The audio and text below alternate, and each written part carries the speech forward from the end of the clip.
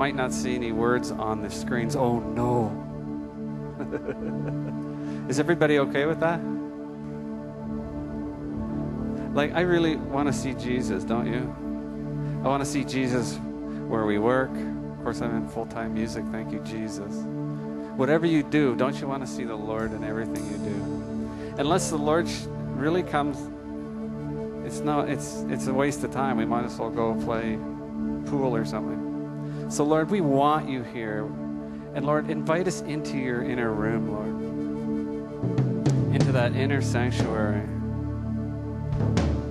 So let's just give him one minute of just, oh, let's give him every minute, but let's give him one minute of, Lord, what would you like us to do today in worship that will bless us all so that we can be changed? I love it when people say they get changed from a musical note or a vocal or, or a piece of art or writing and dancing. I love it. I love all that, those mediums with worship. So, Father, we come before you.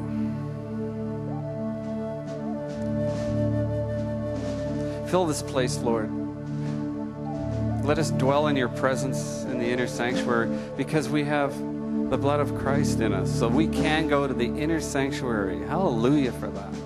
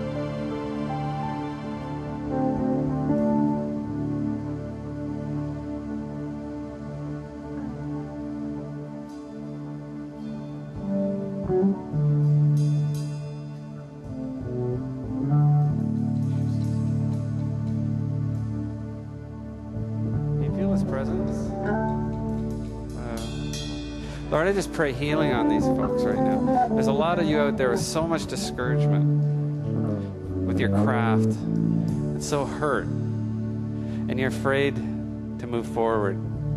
Move, the Lord, I believe the Lord is saying, move forward in your craft and be blessed. It's not easy for, it's like even me up here right now. I had a song list that Lord keeps saying, don't play. So I'm looking at everybody's face going, ah. But you know what? I really like what Don Potter said today. I'll blame him. you know, we have to step further into what the Lord is doing to really receive. There's a cost there. We have to change. And when we change what we normally do, it's not easy, especially if you're leading something that people aren't used to. But we need to move into areas of creativity in our lives, no matter what we do, that's going to step ahead of what's already there. So He's going to have you create stuff that hasn't been done before. I wasn't going to say anything. I was just going to play, but I have to go with whatever I get. So I really want to encourage you guys that it's in my heart. I see it. I've been in worship ministry and professional music for 20 years or over, and I've seen the changes too. And I'm just, I have such a heart for you guys because I've been through a lot of hurt and pain and rejection, even in my own family. I used to get, and it's all, I've been all been healed with it, but I remember part of my family uh, saying, like, Mike, play a tune on the piano. Well, I wanted to do. That's what the Lord gave me, but they wanted me to do, you know, which is fine, but my call was way out there somewhere, whatever that is. So, whatever the Lord has put on your heart, whether it's writing, art, music, preaching, whatever it is, you have to step into that area that's in your heart that He's called you to do and move forward in it. Because some of us up here really need help in it because we need your help. You know, it's like, okay, go ahead, go for it. You know, I love it when somebody says before you do a worship set, you're sitting there freaking out because, oh God, you want me to do that? And then they'll get somebody say, yeah, yeah, go ahead, do it it's easy for them to say, I guess, but but it's it's great support. So I want to bless the socks off you guys, and uh, we have to stop now, but that's okay. So uh, be blessed, and uh, the Lord has me yap a lot more in my worship. I don't know what it is, but I guess He wants me to talk a bit more. So bless you guys, and uh, look forward to the rest of this afternoon. God bless you. Amen. Thanks. Bless you.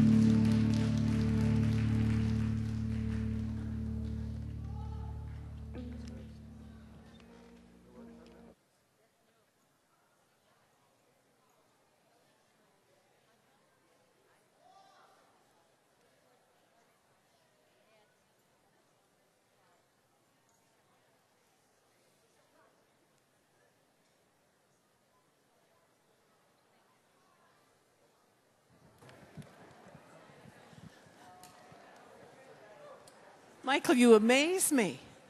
You're right, right to the moment. I was just starting to get into it. That's good. Leave it a little bit. Hi. What a time.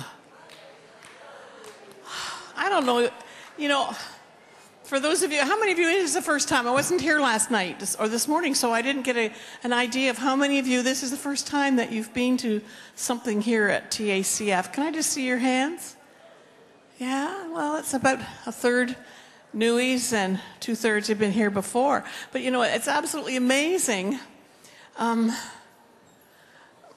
for those of you who haven't been here, my name is Mary Audrey Raycroft, and I'm on um, pastoral team here. And uh, love to be able to host some of the meetings at conferences, and so that's what I'm doing right now. It's, it's just welcoming you this afternoon as well. But what I was going to say, you know, that that worship, you're being led into something other. And we thought we had church all figured out, didn't we? And it's as if the Lord is saying, you know, I'm showing you how I want to express myself to you and how I want you to respond to me. And and so, you know, I came walking in today from the parking lot, and I just got back here in front of that tapestry, and I was just aware of the presence of the, the Spirit of God and of His love. And you're going to find that there's places you walk through here where there's like a thickness. It's the only way I can describe it. It's like His kabod, His presence. And you walk into that, and you think, wow, I don't think I want to leave this spot. It's absolutely amazing. So we have a wonderful afternoon ahead for you, and I'm not going to take any more time. You can get all sorts of information, announcements maybe tonight. And I want to ask Barbara and Barry Simmons to come up for a few minutes and they're going to as they're coming could i just make one particular announcement i know that there's many of you that um, are artists uh, creative artists with your paints and your your chalk and uh, your pencils and whatever and watercolors and oils and we want you to know that upstairs up the stairs right in front of the, the balcony where you look over there's a huge great big piece of plastic put out uh, there and there's tables and that's a place where you can just you know, when that old creativity starts to rise up within you, you can just get up there and begin to express yourself. And all the time, you can see over what? Hmm? What? What? What? No oil. Well, there. Hey, whatever medium is. um, so, as you would paint up there, uh, you're welcome, and you can see over what's happening down here. You know, when the, the spirit sort of comes in, in vigor and you feel you want to express yourself, then that is a good place to do that. And so we'd ask you to only do it up there and not down here in the, in the sanctuary. Anyhow, I think Barbara and Barry are going to share some interesting uh, um, reactions and concepts with you. And uh, I've known this too for like about 15 years when you were way too long when, when he was out in the business world and Barbara was doing keyboard and she came to a, our, our Wednesday morning meetings and she began to grow and grow and grow. And we watched this whole awesome thing of prophetic worship just begin to flow out of them. And, and now God's taken them into um, even being ones who record the giftings of others. And so they want to share with you some aspects of that for a couple of minutes, all right? Well, thank you. Um, we have a, a, recording studio called the Jazz Kitchen. And uh, it's something that the Lord uh, did completely without our permission.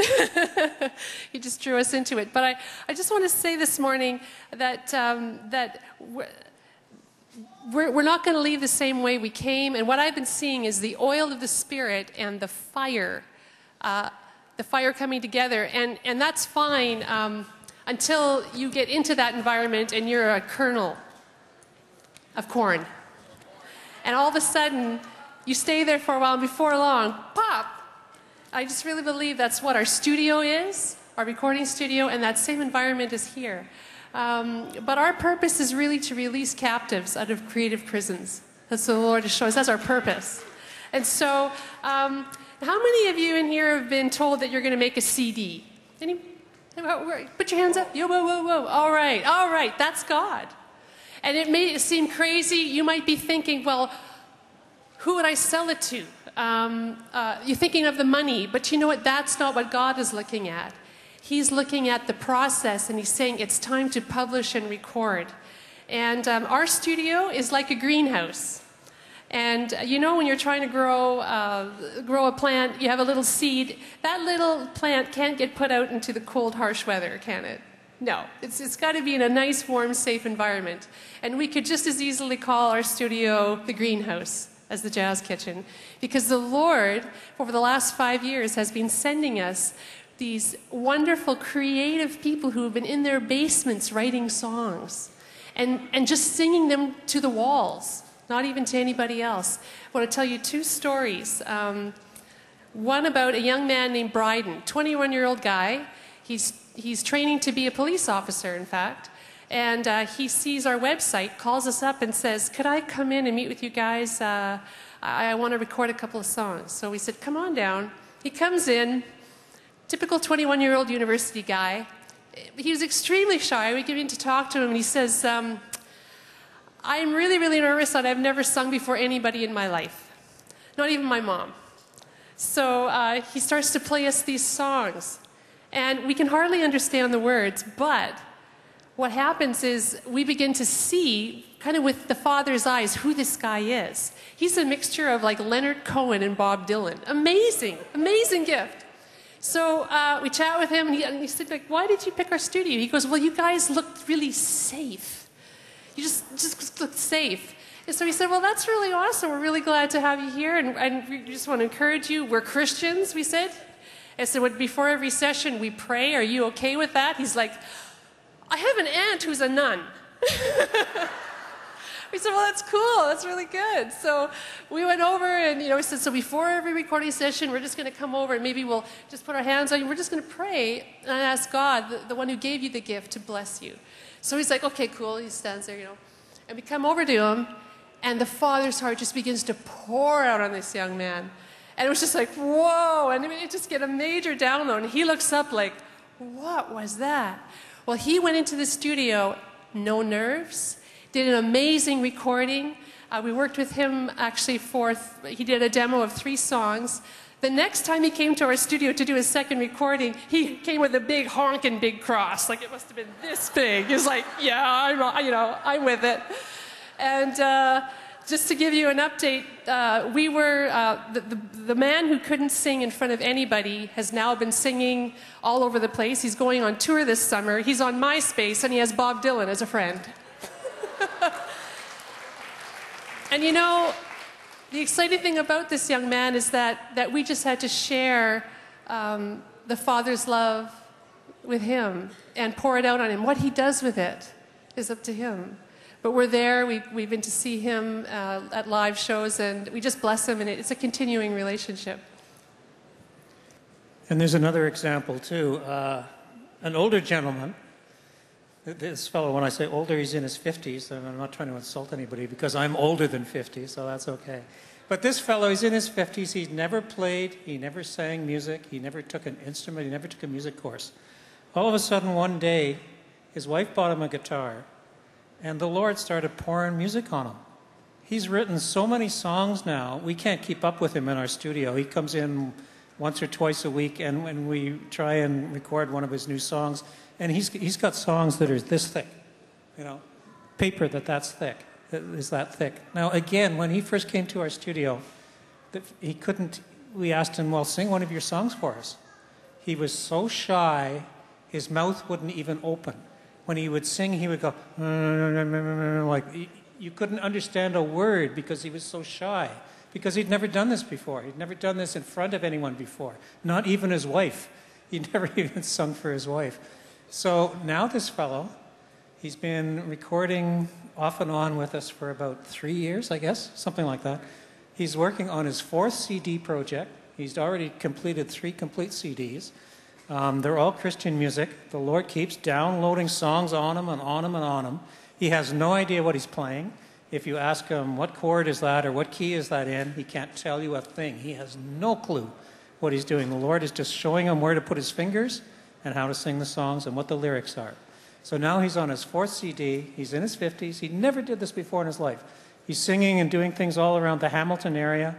Uh, and and he's, he's really loving what he's doing, and people are loving him. And it's really blessing him and, and the people that he sings for. I guess the one thing we wanted to say just quickly this is a ministry for us. We consider this a ministry. We're in the workplace, yes, but that's what we're supposed to be doing. All, ministry doesn't occur here in the church, it can occur outside in the workplace. And, and we've been drawn and we've been asked to do that. Um, Mary Audrey mentioned that I used to be in the workforce in downtown Toronto and I wore a three piece suit and I had no beard and I had hair and I wore a tie and, and uh, got six figures salary, but I don't do that anymore. And we were kind of concerned about that. We thought, well, how are we going to survive? You know, where's the money going to come from? And the Lord said, well, just obey me. And the money has come, the money is there. We, when I was working downtown and all our all the cash that we had at the time, yeah, but we were in debt. We didn't own a house. Uh, now we have no debt. We own a house, and we're doing just fine. Thank you very much. Praise God. So it's a ministry for us. We enjoy doing it. We don't charge the kind of rates that other people charge because what we want to do is bring people, like all you guys that raised your hand about wanting to do a CD sometime.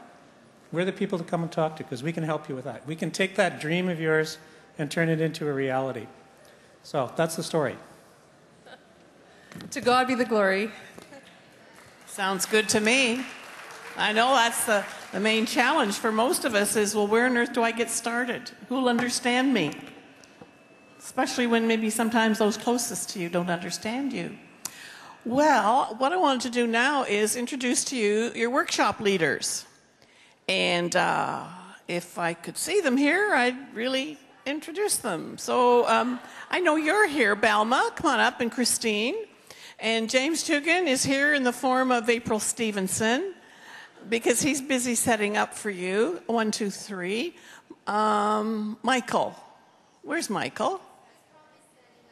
He what? He's setting up as well, so I'll tell you about that. And Christine Potter, where are you?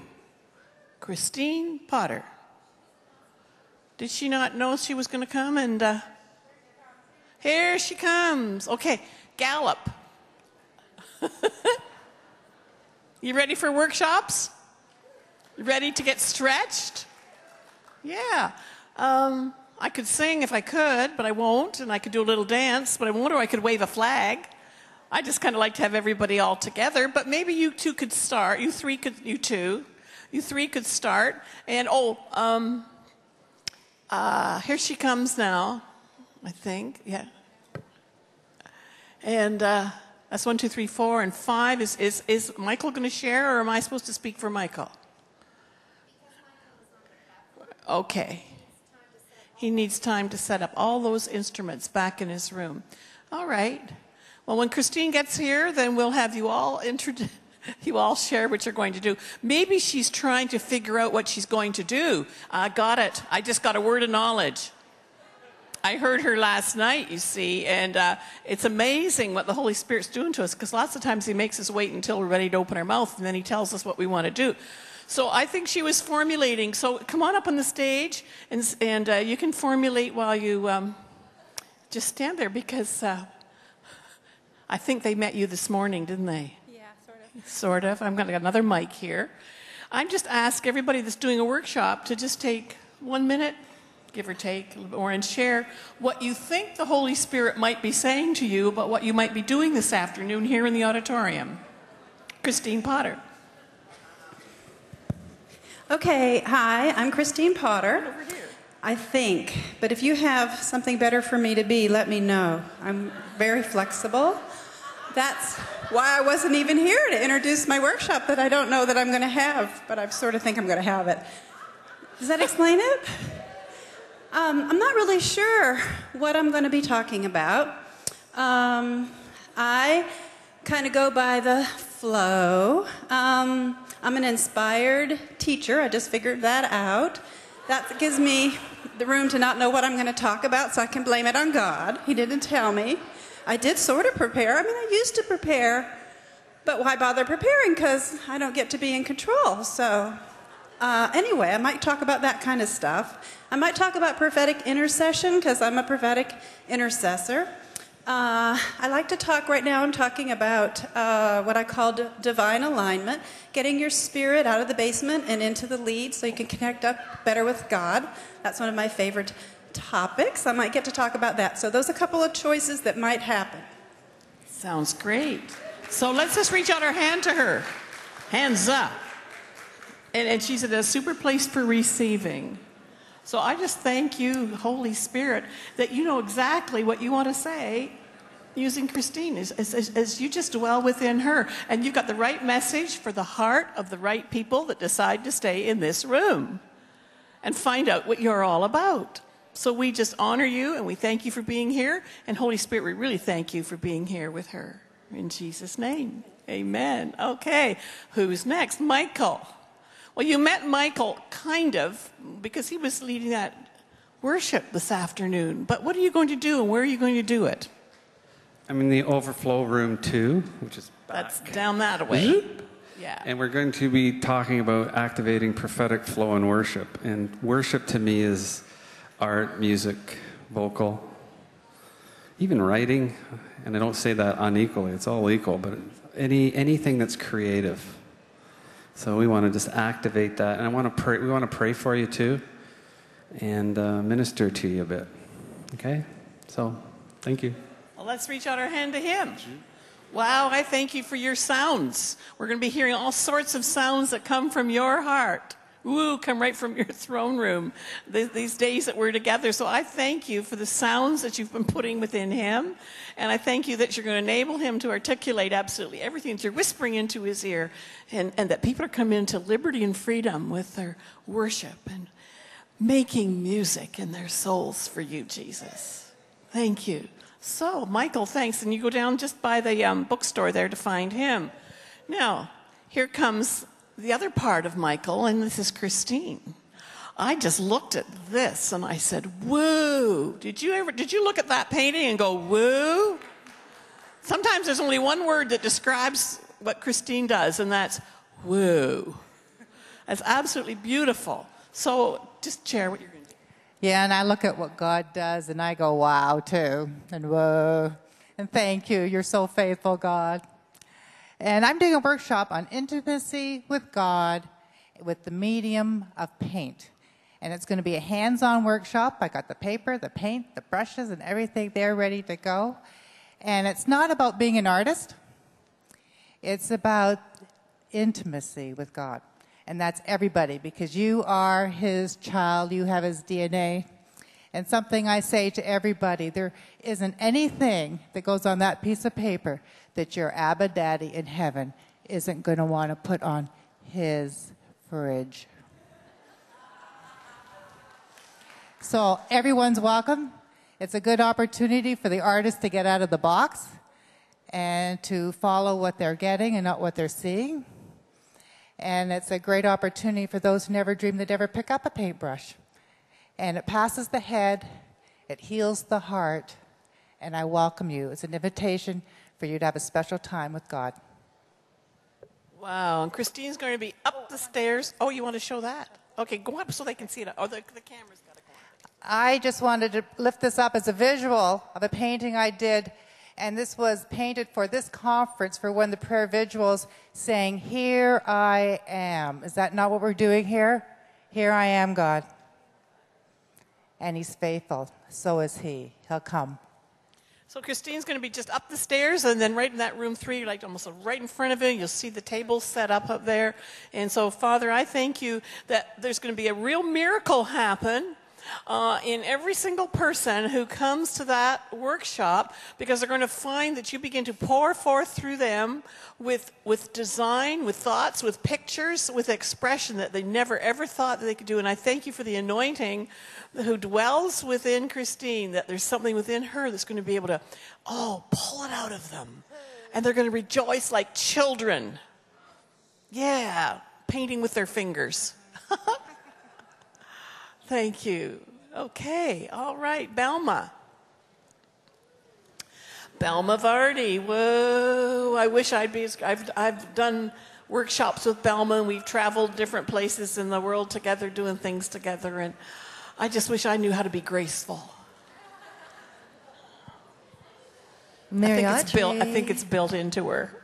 Mary So for people who don't think they're graceful, they should come to your workshop. Mary Audrey. Belma. God looks at the heart. Oh, yes, and it's just clumping all over the place. Belma's going to be right behind here in this most awesome house of prayer. And what are you going to be doing back there? We are going to have an experience with God. Um, we are going to become, um, we're going to go through the veil. We're going to meet with Him face to face. Um, What happens after that? That's between you and the Holy Spirit. And um, yeah, just uh, it's not about dance. It's not about movement. If you're if you're feeling clumsy, if you're feeling it's not for me, then maybe it is.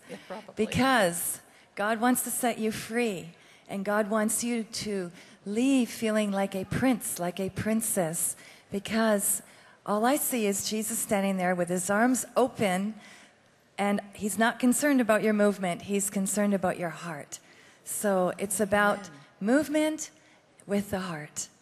And I just needed to add because you see, she said you'll come out feeling like a prince or a princess. And I thought, yeah, you guys, you men, you need to know this is for you. Mm-hmm. This isn't just a woman's thing, Amen. it's for you.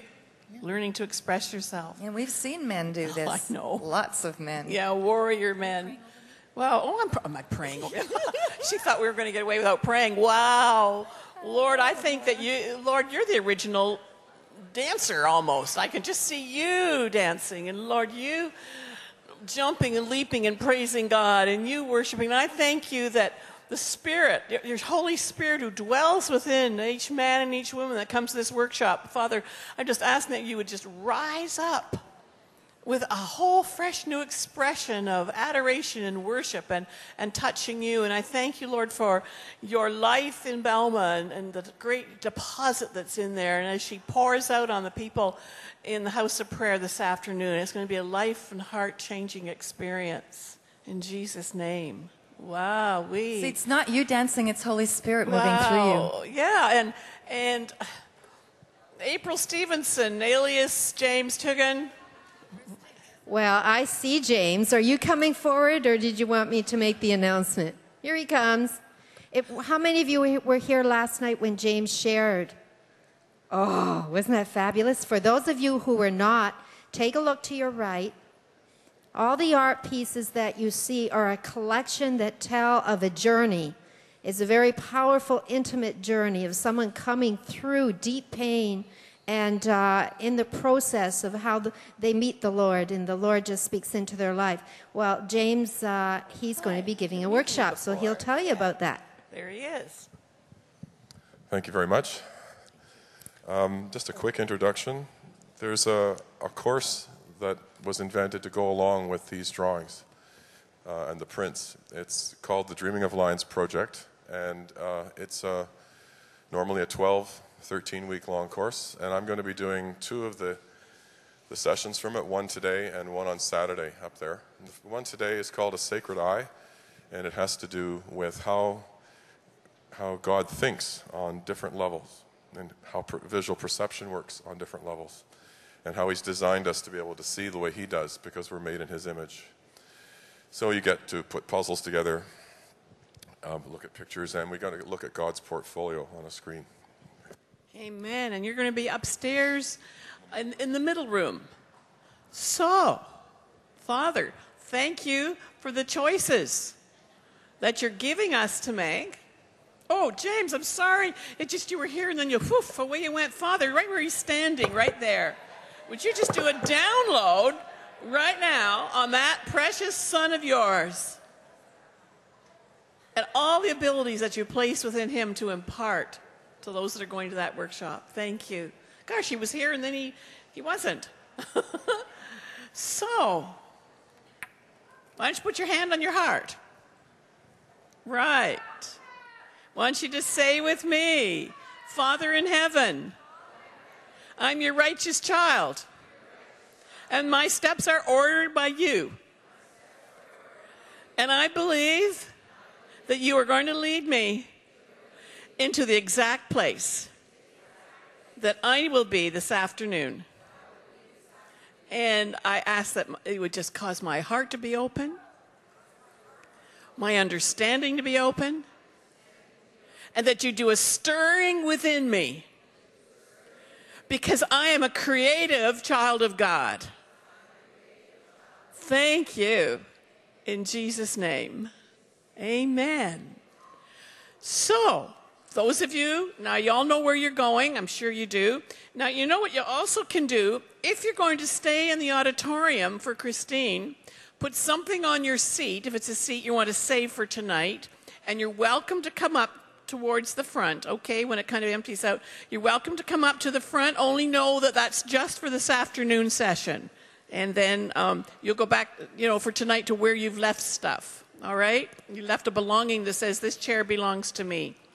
So bless you as you go. They're going to be uh, beginning um, quite soon and have a wonderful time.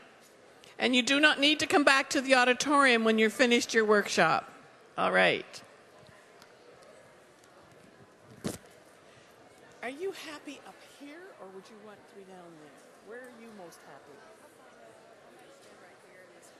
Okay, do you want a music stand or no, you just leave your stuff here? Just lean. I, I like to lean on that. It's, a, it's a safety thing for leaning. I usually do dancing. yes. So I just use the other one? You can have both on. I'll turn one off and if it goes funny, I'm so bad whichever one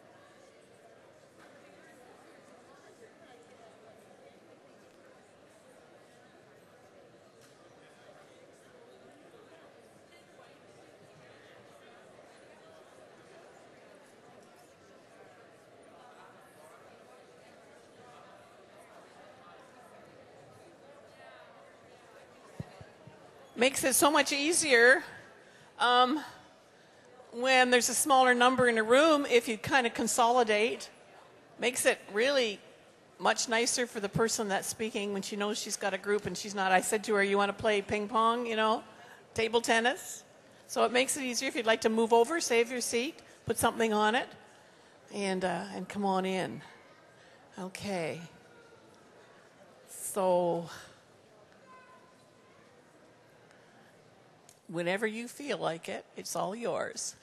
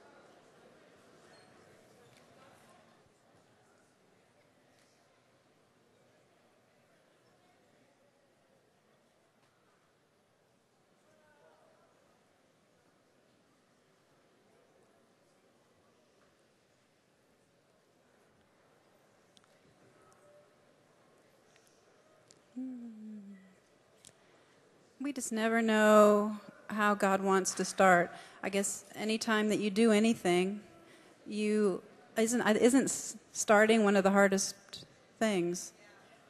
Only followed by finishing. so I always find it kind of hard to start, but um, it's getting easier. I'm not I'm not usually a public speaker. Um, I'm just kind of coming into that, so it's fun. Once I get going, it's kind of fun. It's a little unnerving because um, I'm dying to a lot of my old mindsets about what public speaking looks like or sounds like. Um, I am a person who loves, well, I used to love it. I don't love it as much now because I can't remember very well. But when I used to be able to remember better, I used to love to transfer data. And I thought that was what teaching was all about was that you just get all this great information and you just pass on all that great information. But now I get I see all these great things but due to the uh, continuing graying of the hair, I don't remember them. In fact, even when I'm talking about them, I seem to not remember them. So, but I've been told, and I believe this is an, awesome compliment, that I am a very good teacher for people with ADHD. Is that what it's called? Yeah. Yeah, I had a girl come up to me and say, I'm so excited. I loved your uh, seminar so much. She said, I've never been able to follow anybody, but I followed you perfectly. Isn't that awesome? So I guess that means there is uh, a redemptive uh, purpose for uh, rabbit trails. Because you, uh, I like to blame as much as I can on God. You know, as a recovering Christian, you know you're not supposed to do blame shifting, but I've actually found two beautiful forms of, blame shifting. One is I shift a lot of blame over to the Holy Spirit, and then since I got involved in um, generational curse prayer, that's awesome.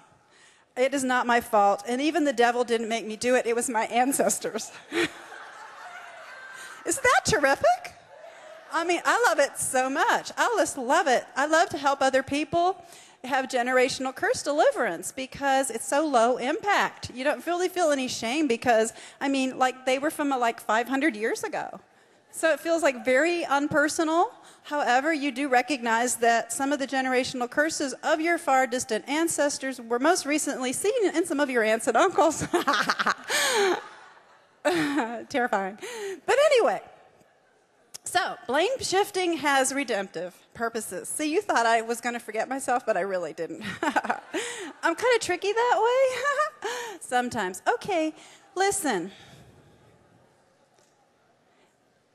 Good. Because we're about the flow, aren't we? aren't we? Because, see, um, if we're prophetic intercessors, if we're creative people, if we're God's children, we are creative, okay? Because we are made in the image of a creative God. We're made, our spirit is of the same fabric and DNA of the created God. So, I mean, we are creative. I just think that, what is misnomer? Isn't that a good word? And I think creative is hooked up with misnomer. And I think we've got a lot of ideas that creativity is just limited to fine arts. It's really not, is it, at all? I feel like, hold on. Now, see, we're just, do you feel like I'm going to just be stopping and going, oh, did you feel that? Oh, did you feel that? Oh, did you feel that? Because we're tuning in to tuning in. And we have to practice being aware of being in tune, don't we? And we kind of learn how to go with the moves of the Spirit. That's how come we can know how to be in agreement with God, in agreement with each other. So we want to tune in and become sensitive to the flow and the movement. So sometimes I wait a minute because when we say things, if we're saying something that's connected to God, then it's doing something and it's moving stuff around. Uh, woohoo! See, did you feel it? we said move it around. Okay, for me personally, I felt it in the back of my neck. Isn't that funny? If you're a prophetic or an artistic person, you're oftentimes you're picking up the sense of the flow in lots of different ways. Uh, I just used to think I was neurotic. and I'm not saying I'm not. However, I later found something to sh- blame shifted onto. Oh my God, I'm an intercessor. I'm not just neurotic. Hello, that's fantastic. And I have what I call, sometimes I have like, what do you call it? I call it uh, la, la, la, la, la, la, uh, multifaceted disorder. It's really not DID. Hold on, there's a little shifting going on. It's, we're moving all around. Woo-hoo. Wow. Woo. Yeah, now, oh, woo, hold on, we're moving. So what happens is, as the, uh, I call myself the facilitator. I'm the facilitator, and I just get the microphone so I get to say what I think is going on. Now, as a facilitator who's also prophetic, who's an intercessor who feels it in their body and experiences what everybody's experiencing, of course you would have multifi- multiple faceted disorder because I'm up here having to experience a lot of you. Wow. Even you guys don't want to experience you. Sometimes. Isn't that true? I know. And then I have to experience you. That is very unkind.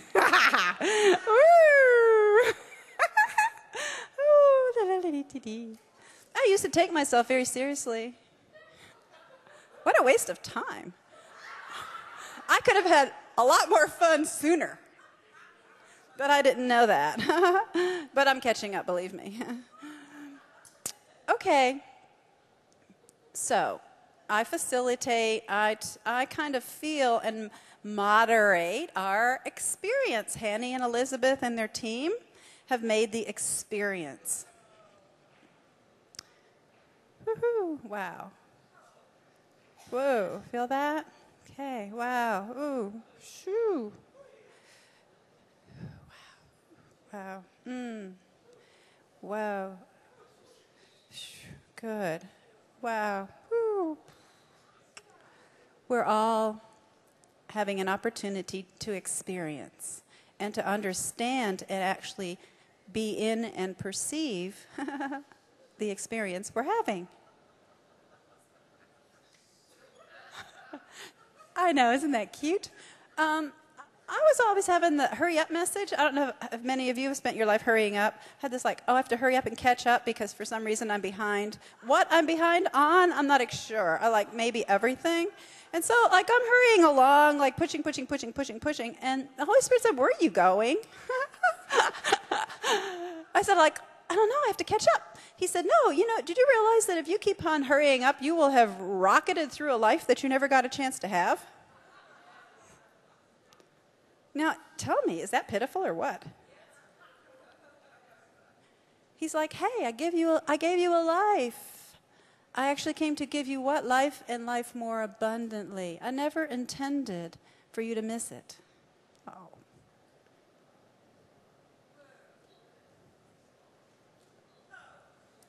Yeah. Ouch. Okay. Okay, now when we have, I call them selahs, when we have a little selah, also like this, we come to a pause. As we go in the flow, we come to a pause.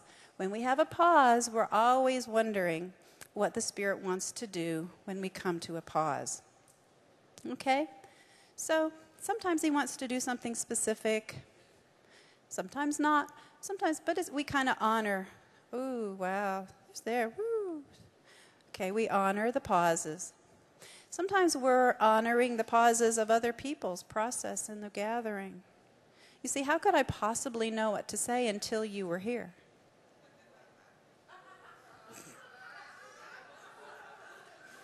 Why should God give me a message for someone that's going to be here, not here unless I was having a message for somebody that wasn't here? And sometimes I suppose you do get messages for people that aren't here. I mean, my husband talks about occasionally he'll get he gets songs for people that aren't here, and he's releasing a sound for people who are hearing it and receiving it in their spirit somewhere else. But oftentimes, I don't have to get the message or the purpose until it's the time. Okay, there you go. All right, woohoo. All right. We're having, okay, feel that little feeling? Woohoo. It's called dimensional shifting.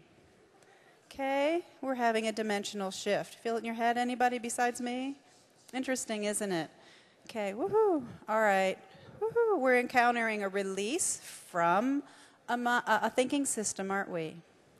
Woo, the thinking system is that I have to know the future, right? Wow, ooh, good, woo, that's a bad one.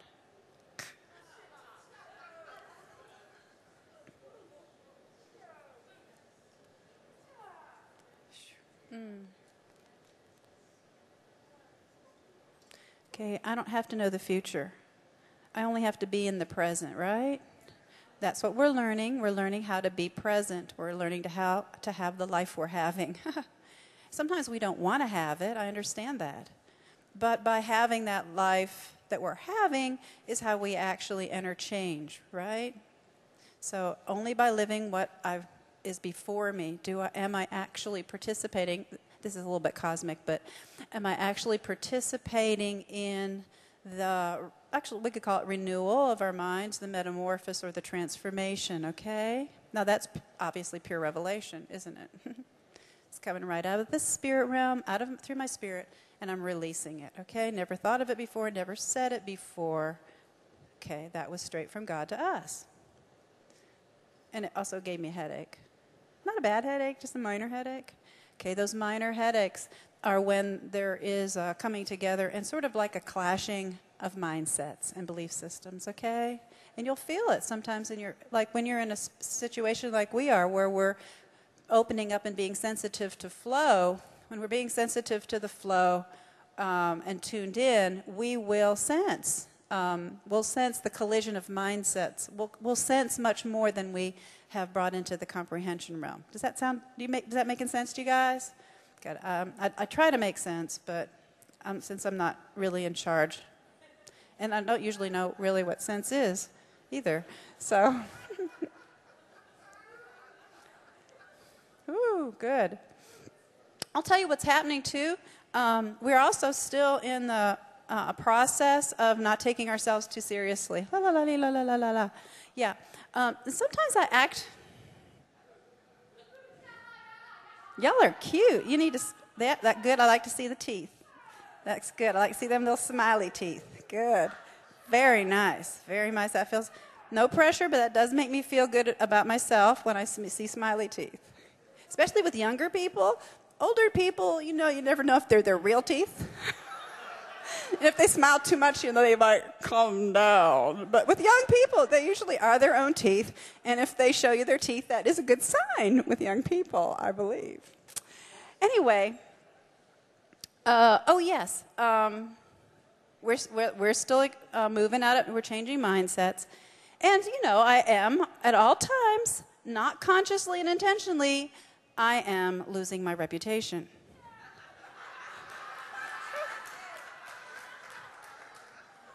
Yeah, I'm, I'm, I'm, I always think I don't really care until I hit one of those places and go, oh my God, I still care. I mean, I still care that I was the person at the party with the lampshade on my head. I still care. Dang, I guess I'm not there. Um, you know, we are God's fools. Isn't that fun? Unless we're taking ourselves too seriously, however. And then, of course, we wouldn't want to be foolish, no matter how foolish we really were anyway, but we wouldn't want to know we were fools, now would we?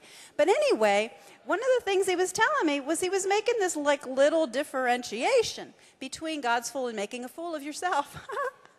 Isn't that cute? Yeah, one of the times I was like sort of helping him out. He said, Don't do that. He said, You don't need to make a fool of yourself. He said, I can do that very well myself. I can make a fool of you easily. So don't bother, don't bother pushing the parameters. You know, you don't need to go beyond me because you're foolish enough when you're in me. Isn't that hilarious? so, therefore, when we do this sort of unconditional, I'll do whatever, go whatever, obedience thing with God, we may appear foolish. However, what are we going to do about it? Nothing. Just don't bother making a fool of yourself. Why bother?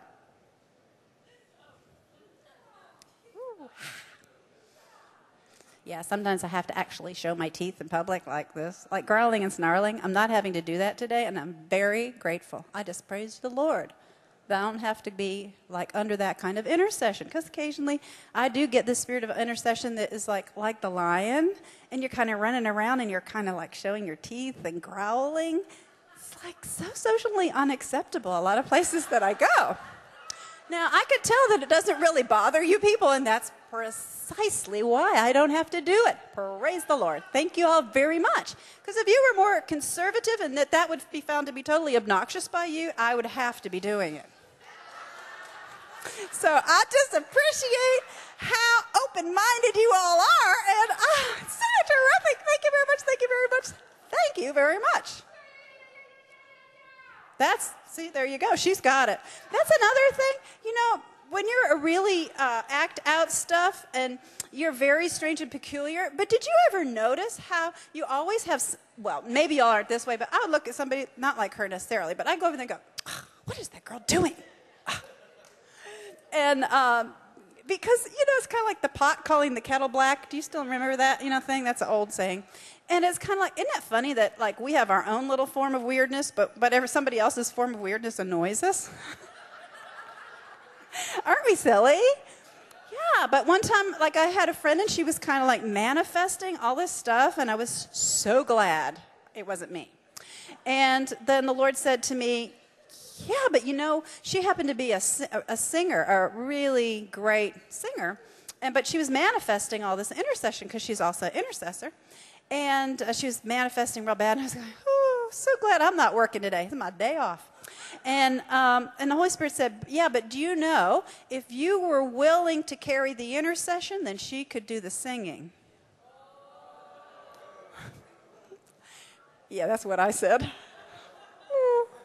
so he was saying, if you were willing to take to bear that burden, then she could be released to go on and do something else that's that needs to be done, but without someone who's willing to bear that burden, she's got to carry that too. Isn't that profound? So the Lord's always looking for us to be willing to bear His expressions, whatever way they look. Okay, how's everybody doing? Still got any stuff on the back of your necks? A little bit, huh? Yeah. I think, you know, we're breaking through into something new, aren't we? And breaking through is breaking through. And one of the things that we have to break through is a lot of our, our, our mindsets, you know. And uh, then, of course, we have principalities, which are like giant mindsets, aren't they?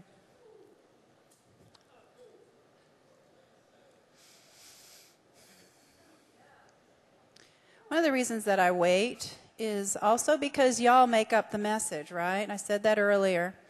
that uh, what who you are uh, comprises the, the message and the direction of the Lord. Isn't that amazing? Isn't that fascinating that God cares so much about us that He will weave together a message or, um, you know, a prayer ministry or anything? He would weave it together to be able to make it specifically something for us, to include us. Isn't that beautiful? And, uh, and there are certain times when I reach a certain place in the, in the presence, and uh, it's to me when we we're not quite there yet, but when we reach a certain place uh, of agreement in the spirit and where we've opened our spirits enough, if it, everybody's spirit is, is so open to God and, and corporate that um, it makes me feel like it's kind of like a, a giant hot tub or something. Because when somebody moves in the tub, we, we feel the movement in our spirits, don't we?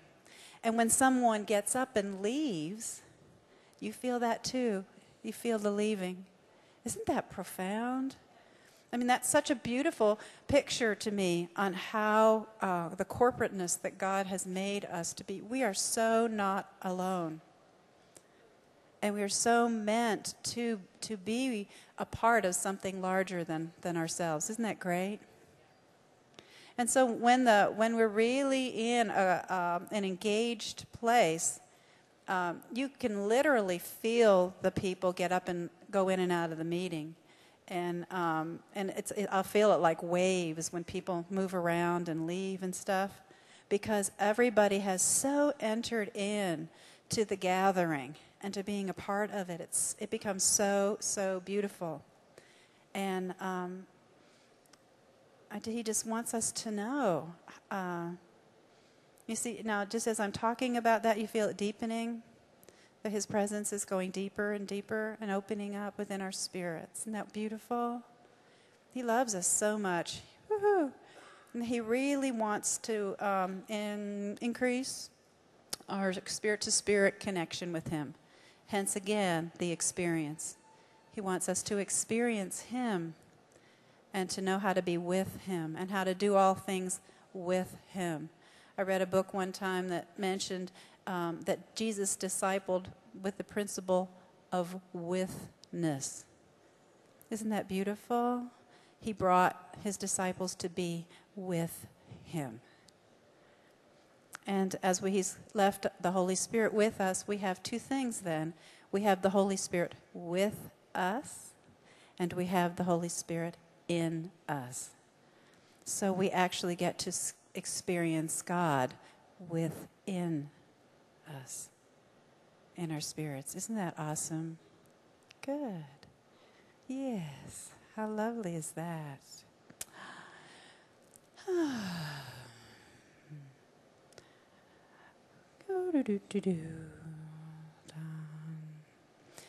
Um, I think I want to talk to you about this little thing I'm interested in right now. I've been learning, uh, been reading and experiencing some materials from a guy named Arthur Burk. You guys know Arthur Burk? Oh my gosh! Yes. Don't you just love this stuff? Now, the Arthur Burk stuff, because there's an Arthur Burt with a T. He's like 100 and he lives in Wales. This is another guy. But both, both are quirky. Both are quirky. Now, I would tell Arthur that he's quirky if he was here, but I'm glad he's not here to hear it. Um, he's very, very brilliant, this Arthur Burk guy, and um, God's really, I think, using him in this season. Now, one of the things that he teaches into is uh, what he calls uh, spiritual alignment. And it's kind of like spiritual chiropractic in a way. It's that God has an ordained order of things, and he always meant for uh, us to be spirit, soul, and body not body, soul, and spirit. Because the Holy Spirit wants to connect up with us face to face, so to speak, and He's going to have to do that by interfacing. And He does that by interfacing the same kind of DNA. So we have our spirit is of the is the spiritual DNA of the Holy Spirit, spirit to spirit. Our soul is not. Our soul is of the created order. So it's just not going to interface very well with the, with the Holy Spirit. That doesn't mean the Holy Spirit's not big enough and strong enough and powerful. Obviously, he, he was part of the creating of our souls. But as far as daily function, it's going to work much better if you use it according to divine design.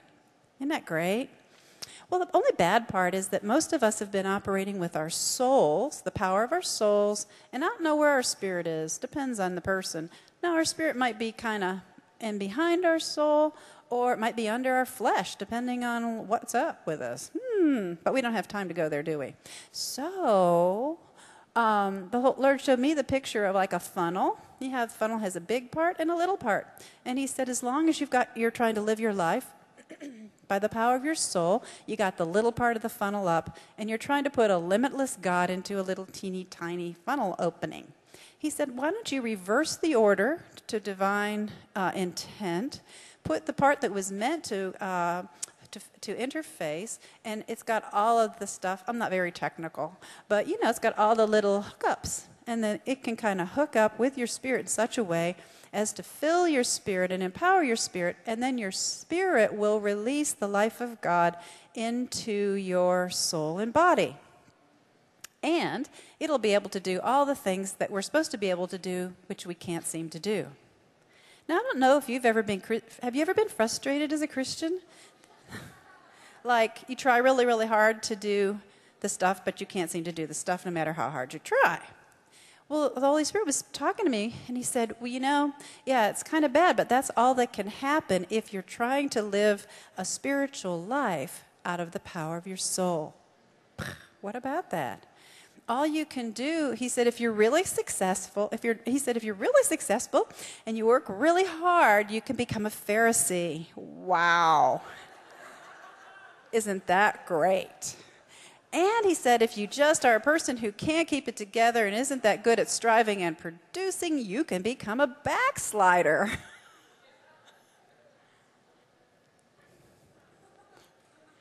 Isn't that painful? Think about how many Christians are flopping back and forth between them. And maybe you, we don't go into absolute backsliding, but lot, we see a lot of people, including ourselves, that get so worn out and so burned out, you just quit for a while. That's what Don talked about, the slothful thing, that you just get, you have to quit you have got no ability to keep on pushing yourself in your spiritual walk with the power of your flesh. And what does it say? It will kill you, won't it? And it does. It will burn us up or burn us out. And it's all because we didn't have it in divine order. The Lord always meant us to connect with Him spirit to spirit because our he said to me one time, I was trying to figure out something of the Spirit, he, and it was, I thought, you know, that really feeling you get when you're trying to intellectually understand a spiritual thing. And he said, You will never be able to uh, understand that. He said, You will burn up your poor, pitiful little brain. He said, It was not designed to understand spirit that way. Now, what can happen is my spirit interfaces and gets the downloads from the Holy Spirit, and it has what it takes to translate it into a form that my intellect can comprehend and receive without going into religiosity. You feel that moving on that? Woo, whoa. Okay, so if we try to take spiritual truth and capture it with our intellect, what will we be? Religious. Okay. Woo. But if we will receive the Spirit by the Spirit, then the Spirit can work in such a way as to almost intuitively cause our soul to receive and perceive it. And that's called knowing. Ooh, good. Isn't that beautiful? Okay, there's the knowing realm. Do you feel it? Wants to open up. You're not quite, yeah, there you're getting it. Good. Okay, that's how we know. Not here, here. Okay? And my spirit has the ability to bring my soul into knowing God. Good, good, good, very good. And knowing others. How? By the Spirit. Good. Good. Yeah, that's hurting our heads just a little bit. I understand. okay. Yeah, that's all right. We have so exercised our intellect in regard to our spirituality, haven't we? I mean, it's huge. Yeah. Yeah. That's why the Lord talks a lot about becoming childlike. Because children mostly are not, they don't think they're smart enough to get it, so they just get it. and it's hard too, if, because your intellect is very pharisaical and it will want to it'll want to dr- kind of drill your poor spirit and make your spirit, you know, it'll kind of persecute your spirit. You want to explain that, prove that. And unfortunately, that's when we have to do what? We have to move in and live by faith and tell it kindly, shut up. Ooh, feel that? Okay, David had to do it all the time, so it's in the Bible. He's saying, Hey, soul, what's up with you? Chill. Okay?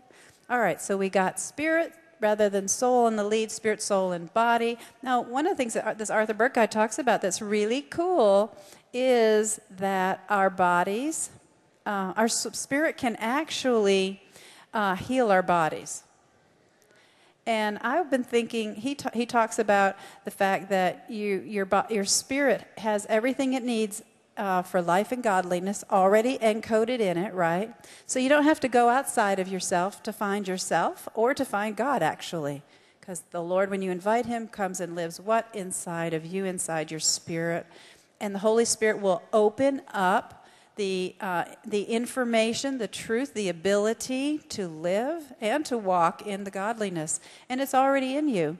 It's data that's been turned into light. Our spirit's filled with light. And then as we invite the Holy Spirit, He will open it up, turn it into the data that we need, and our, our spirit will release and nurture and train and equip our soul.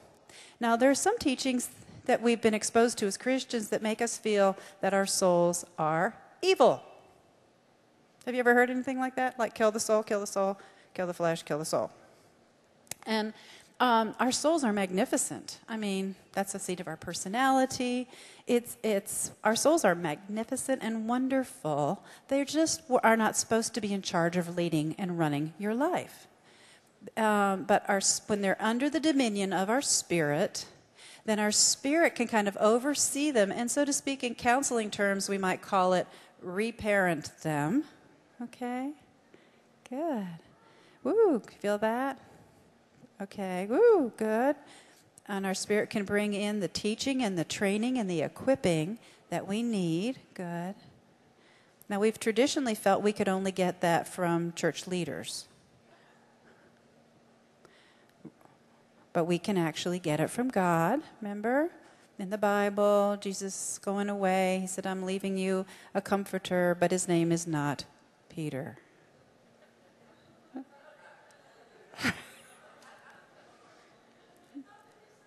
Sorry, all you Peterites. It wasn't Peter. It was the Holy Spirit, the Spirit of truth, right? Now I've got this philosophy of my own. I'm actually starting thinking, I haven't really had time to do it, but thinking about starting a sect or a cult, but I don't have time, based around all of my uh, things I think up and make up in my imagination. Now, the imagination's not evil, but I don't know that it always creates proper doctrine. However, I do share these out of my first opinions, and if you're really tracking with me, you will know that I have forgotten where I'm going. It was one of my first opinions, and it might come back. But help, help. Oh, yeah, spirit healing the body. Oh, yeah, and Peter wasn't it. Oh, I know. Thank you. Y'all are so helpful. Okay, yeah. I feel like we're in the state we are because we kicked the Holy Spirit out. What do you think? And this is my personal thing, but I think, of course, it's right because I think I'm right. Uh, yeah, we have wanted what? The manifestations of the Holy Spirit, perhaps, if we've gotten that far along. But we've not we've all thought mostly that we had to do the work of the Holy Spirit, which which is that we had to do what mostly our own sanctifying.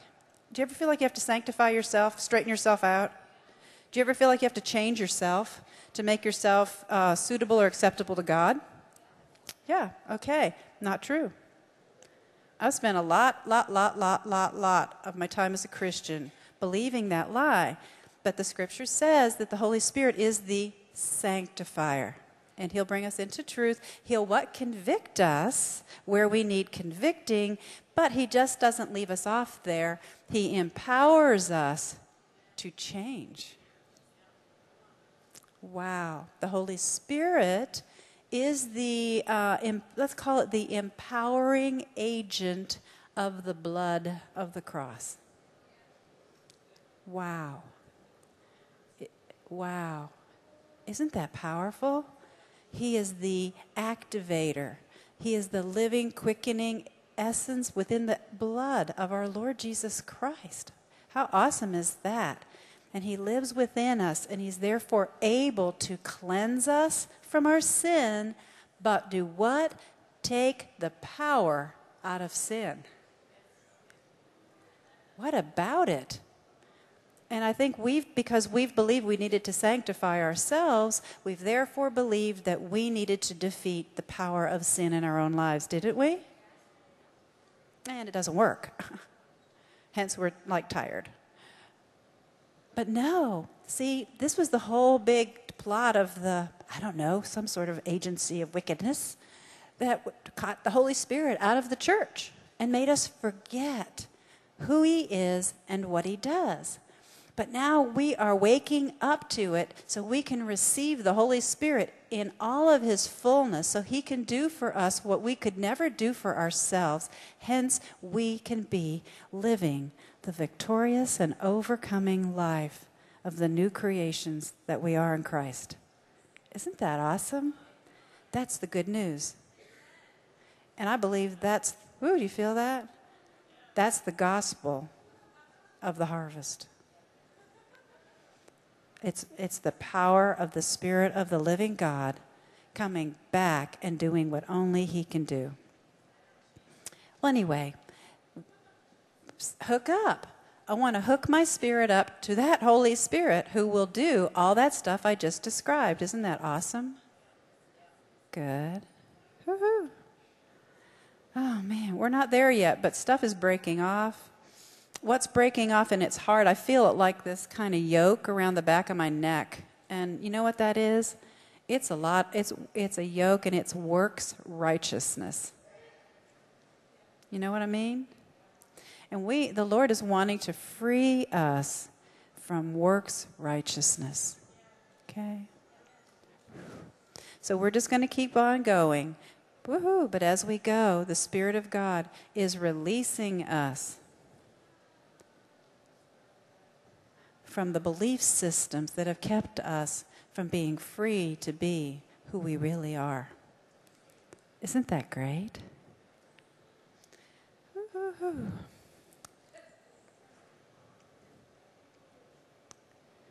Good. Now, I like to keep pausing because we're always moving like this. And we're always wanting to see which way the Spirit wants to go. We're wanting to always be sensitive to Him because, you know, just because He seems to be going this way, sometimes we think we know where He's going and then we start to go that way. But He's teaching us ever increasing sensitivity to Him because, there's, because of the ever increasing power that's coming upon us. So we want to be, it's not a fearful sensitivity, but it is a submissive sensitivity. And that's how we stay in agreement, a deepening agreement with what the Spirit of God is doing. Okay. Woo, do you feel that? He loves that kind of talk. All righty. As we continue to submit ourselves and su- submit deeper, see, every time I choose to honor Him, even in what I call small obediences, little things.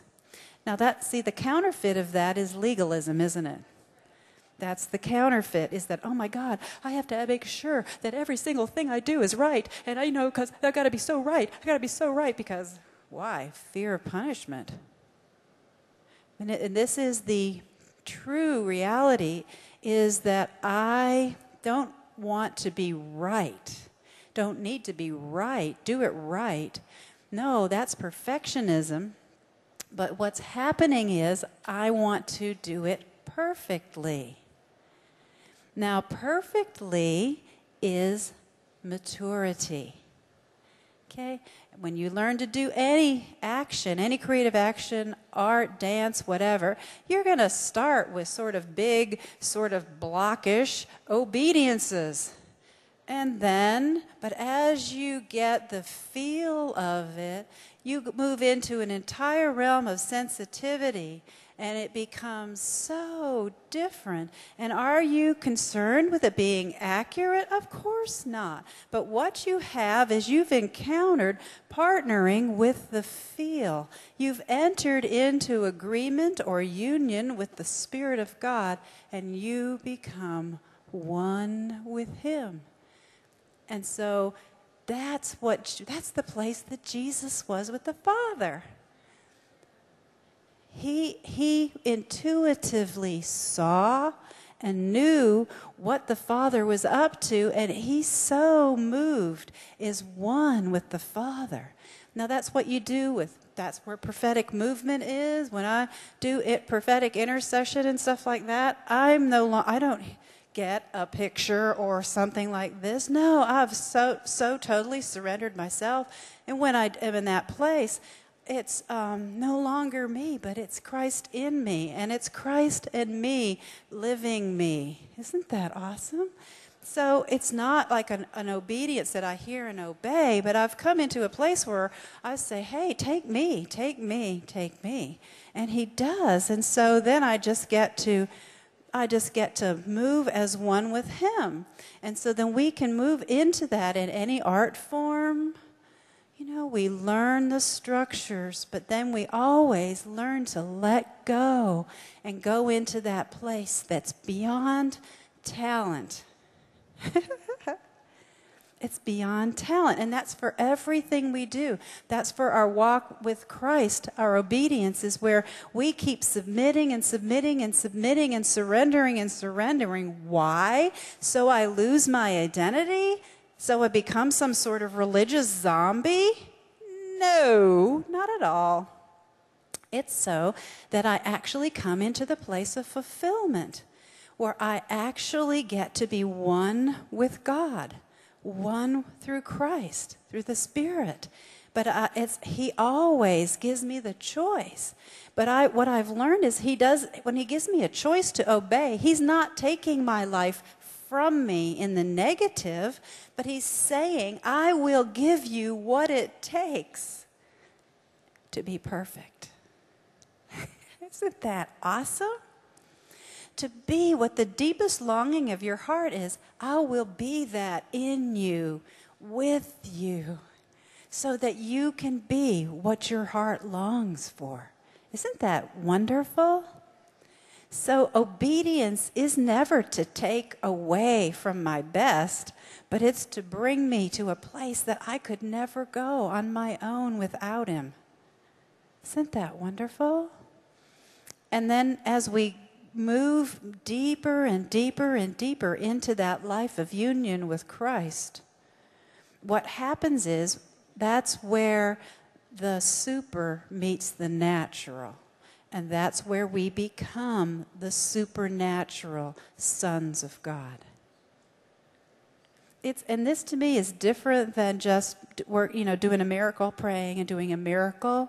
This is where you walk in a continual oneness with God. And Hanny's got some wonderful um, ideas and communication about this. That's a lot like the, what people call the desert fathers the guy, the old guys who first knew God in the early time early church days that lived a committed and a sanctified life until the, the supernatural life was everyday life. And they walked in a realm of the spirit that was I don't know if you talk hear real spiritual people talk they talk about Enoch you know you ever hear about the people that talk about Enoch and how he walked so closely with God that he disappeared into God? You know he there he didn't die he just walked deeper and deeper and deeper in the supernatural realm until they entered into God and they were no longer in this realm. Isn't that neat? That's ours if we want it and so when we're just practicing our obedience, it's kind of like, you know, like doing a dance with something. We're just learning to dance with God so that we, you know, the best dancers are like the best horseback riders. The communication is imperceptible. You don't see, they're so one and it's so smooth that every action is as if the, it was invisibly communicated. Okay, that's the, they know each other so well. yeah, so he we that's where we give away the right to an independent life. See, in the Garden of Eden, what happened? Yeah, there was some fruit eating and some bad choices, but ultimately it was independence from God. It was the invitation of the enemy was that you could live and be satisfied separate from your God. And what do we all war with? We all war with will I try to will I live independently of the Lord? Will I try to get my own needs met? Will I do blah blah blah blah blah blah blah? And the Lord gives you the, yeah, you want to live separate from me? Yeah, sure, go ahead but you will miss. yeah, you'll miss. Yeah, you'll miss. you'll miss what Calvary was about. Calvary wasn't just to buy us out of hell. Calvary was to bring us back where we could be joined to God and have the fullness of life. You know, we were made before the foundation of the earth. Each one of us was formed in uh, who know, do you I don't have a clue what God made me to be. But I and I know only the Lord can activate and empower the fullness of what he made me to be in this dimension of time. I'm coming to believe that none of us will be all that we are made to be in this dimension of time. But we'll get to be part of it here, and then we'll go on in, full, in the fullness of eternity. We're doing a lot of work. Do you feel it? Do you feel how it's everything? There's a, been a quite a change in this in the atmosphere of the spirit. It's it's just interesting. I wanted just to bring you back to perceiving it. So as mm, as I listen to and share the spirit, and as you receive what the spirit's saying through me, we're entering into agreement. Okay? You feel the, uh, the unction on that, okay? Woo. And see, that agreement is what changes things. Yeah, good. Are we intellectually lined up? Not really. Who can comprehend it? But our spirits have recognized the essence of the Spirit, and we are sensing Him and we are going, yeah, I'm giving myself into that. Yeah, I'm giving myself into that push. I feel it. I don't comprehend it, but yeah, I know, yes. I'm giving my yes to it and my amen. Whoo, whoa. Yeah. Wow. Wow. Woo. Yes. Woo. Okay. Wow. See that shifting and shifting. So I'd, I just think I'd like to do this for a minute. Um, so, uh, is anybody out there afraid of new spiritual experiences besides me? A few of you? Yeah. Okay. Yeah. I'd like to, you know, because I always say like, "Oh Lord, yeah, yeah, yeah," and I go, "Oh my God, no! I'm terrified. Like, what if an angel really did show up in my room? Like, what if it was a demon with a with a really nice costume?" like they're real tricksy. Ooh, feel that? Yeah. We're still scared of the dark a little bit, aren't we? That's okay. Yeah, we're scared of the unknown. Ooh, that's okay. Yeah.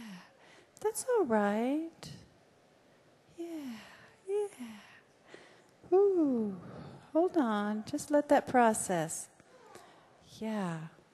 Yeah, you know, one of my fears is being deceived. Is anyone afraid of being deceived besides me? Yeah.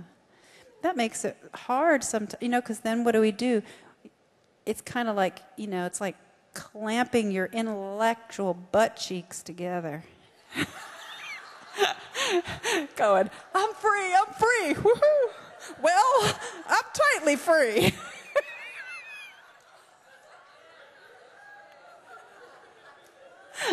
I mean, if it'll give you tone back there, that's great, but I, I don't actually think so. Oh, I, just, I think it's part of having a stiff neck, you know, it's those, it goes all the way from those butt cheeks all the way up and gets a hold of your neck up here. Good golly. Oh, but anyway, thanks for the anatomy, spiritual anatomy class. Yes. Oh, yeah, but see, that's what happens when you think, woo, woo, it's getting a little bit woo, scary. Woo, God, woo, woo, woo, that's not a happy woo. that's a terrified woo, wow. oh, gosh. Hold on. I just have to give myself a cosmic break here. Woo-hoo. Ah. Anyway, relatively terrified over new experiences? Me. Hello. Yeah, fear of being deceived? Yes, amen. Me too. Yeah, well, then that makes it kind of complicated when you want to do new things with God, doesn't it? Because, well, the religious Pharisee on our little shoulder is going, Well, how do you know that's really God? What if it's not God? I mean, what if it's not God? And you're like, Panic attack. What if it's not God? What if it's not God? Hey, I thought the fruit of the Spirit was peace. Wrong spirit. Hello. So we want to do deep relaxation all the way down. I know it's scary. I feel it. I know you're scared. I know you're scared. I'm scared too sometimes. but what should we do about it? Let's think. Let's put on a little thinking anointing.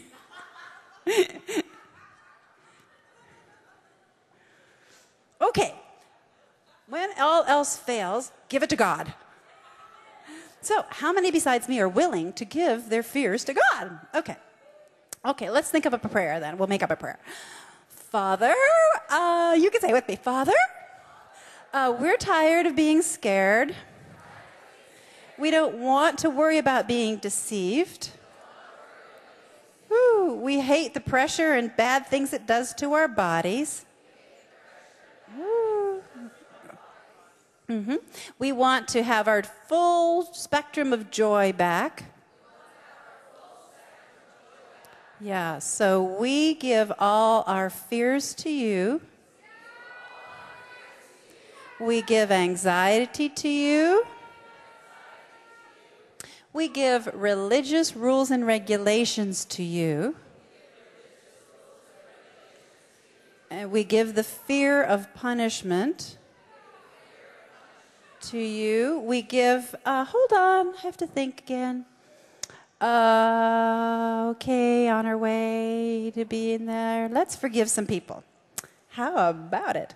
Um, how about, and I'm going to, before I invite you to agree with me, because see, you should never give your agreement lightly. Okay?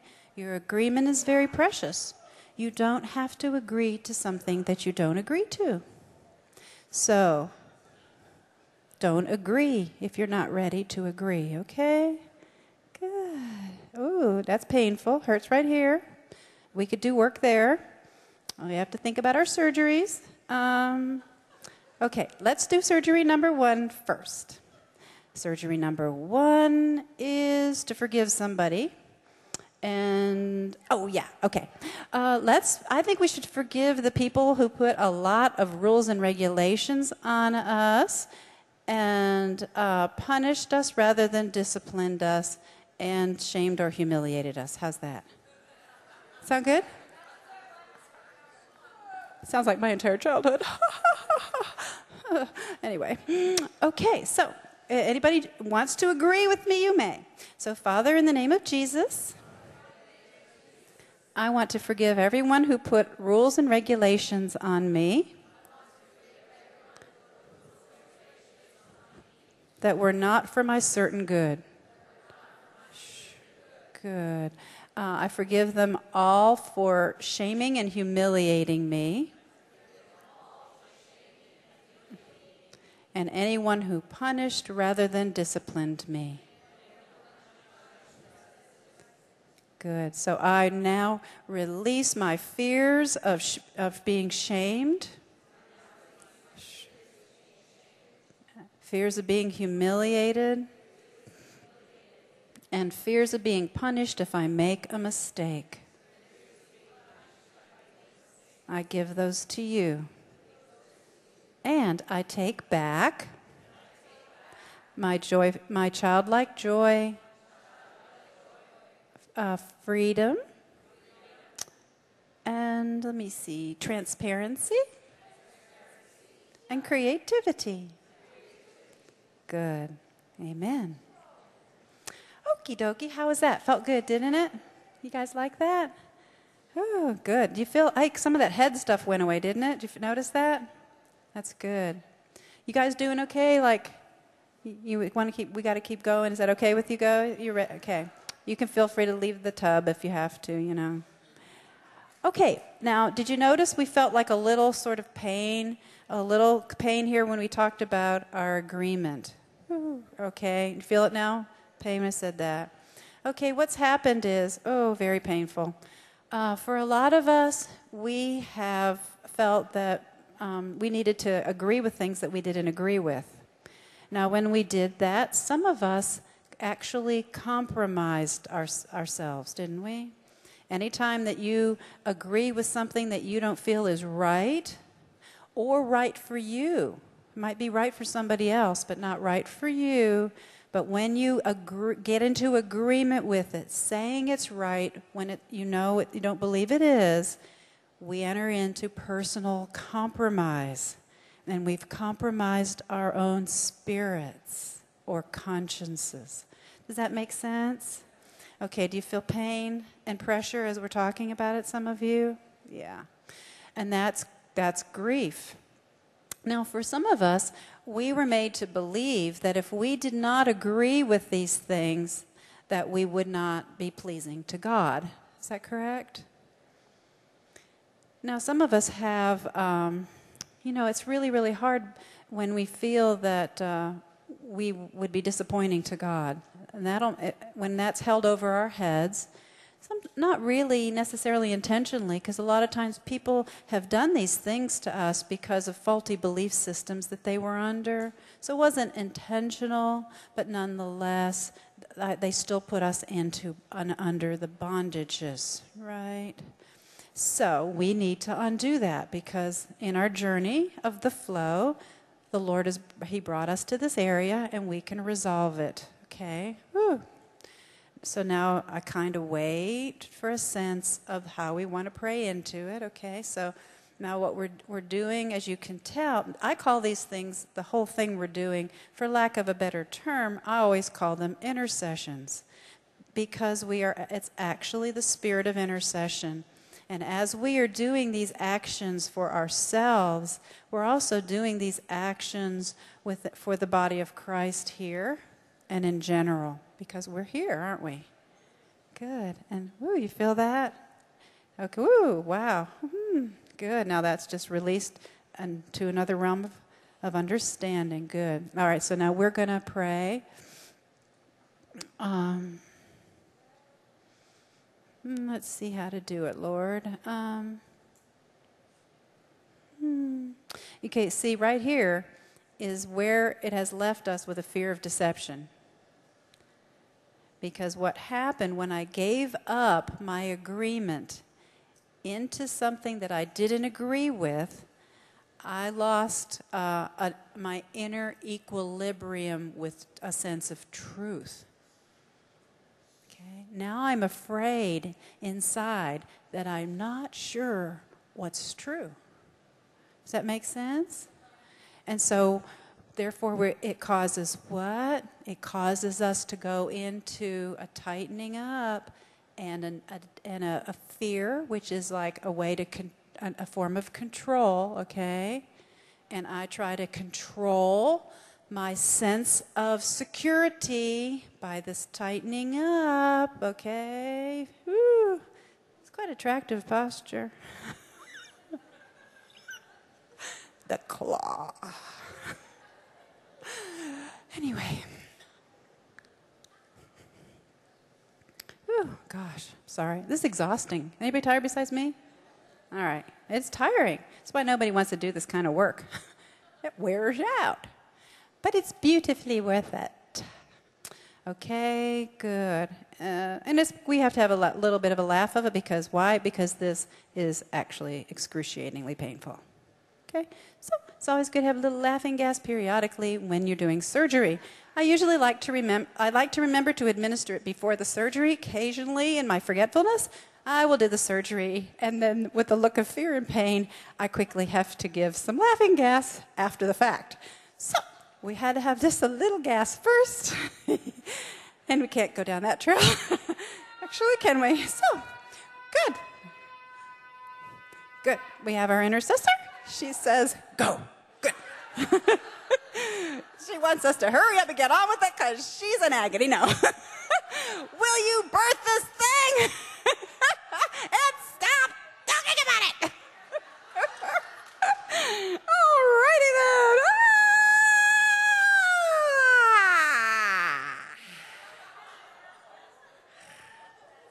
Ah. Oops, I don't want to get in that stuff with her. I better stand down here with these smiley people. Oh, some of them went away.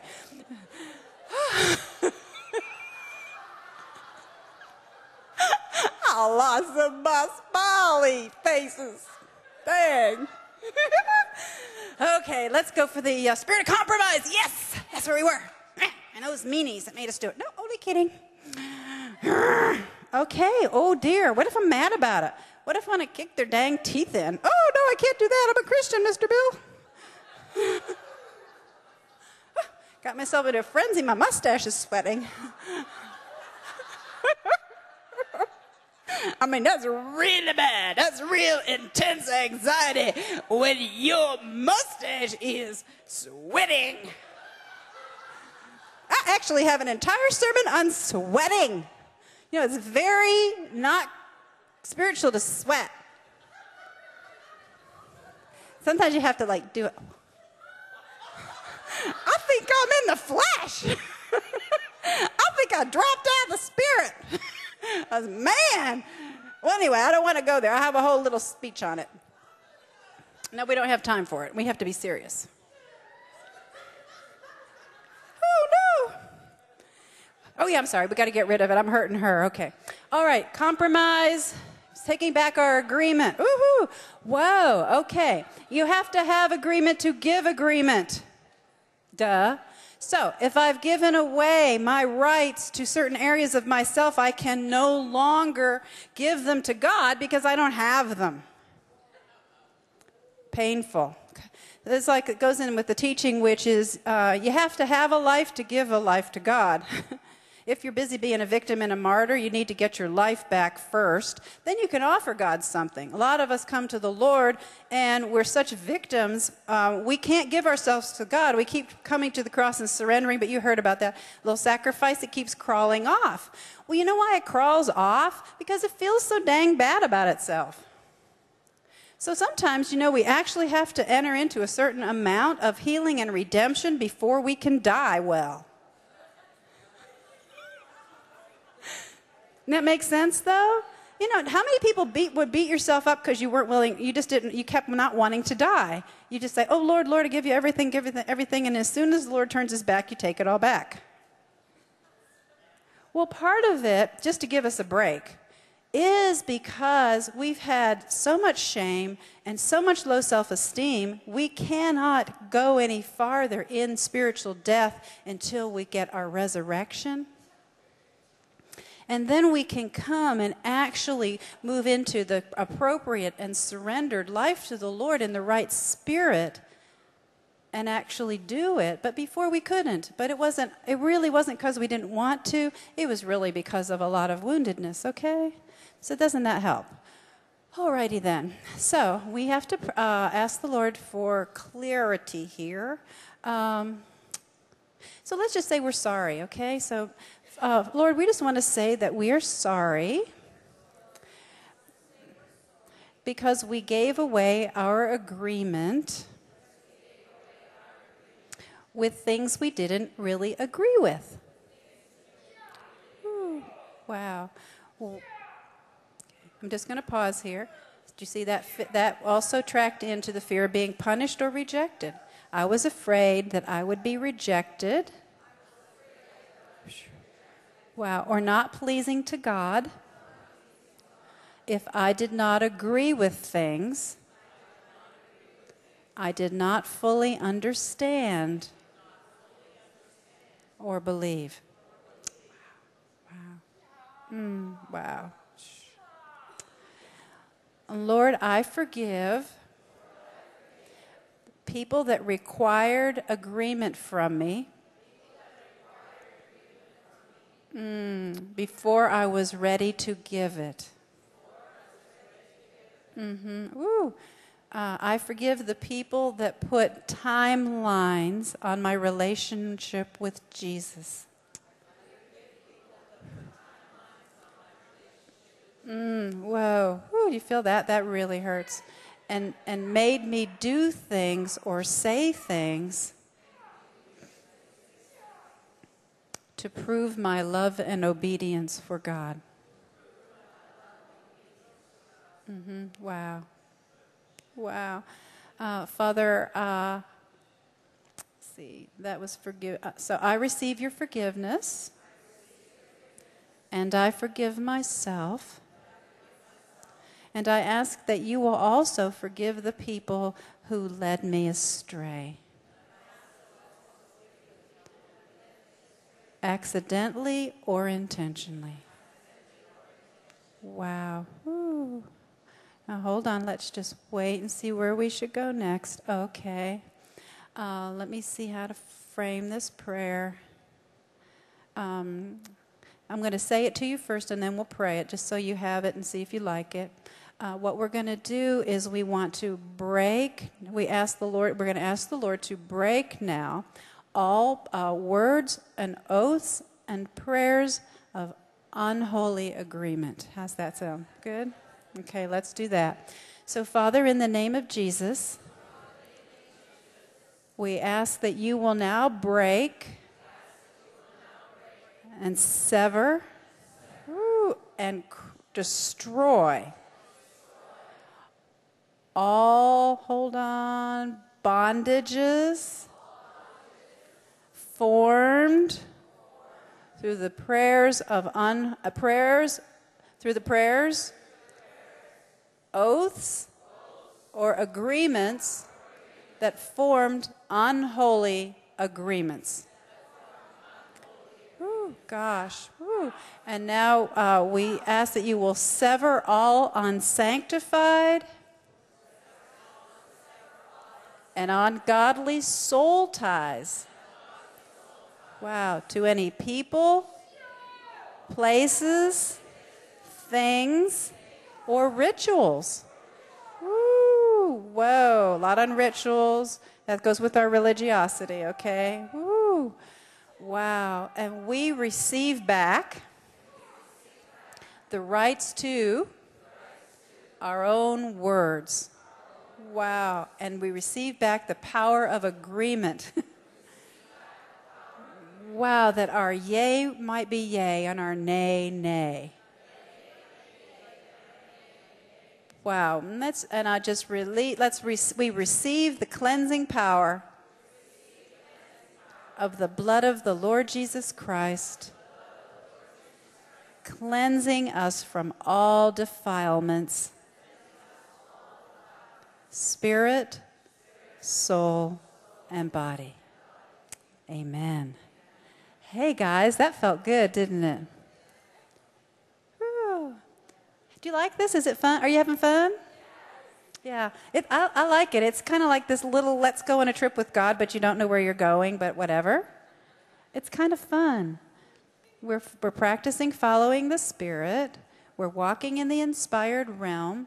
We're, we're being transformed by the uh, processes that He has for us in this particular gathering. Isn't that great? Okay, um, now we uh, we're talking about alignment, spirit, soul, and body. Remember, and that that our spirits. So we did all this work, you see, and we were getting freed from fear of deception and the right to not have to agree when I didn't agree. But you know what? When I got get that right back, do you know what it actually causes me to have? I can have an openness in my spirit, and I don't have to clench my uttermost parts, right? Because I have received back my rights. See? See, once I'd lost my rights, I was in a victim stance, wasn't I?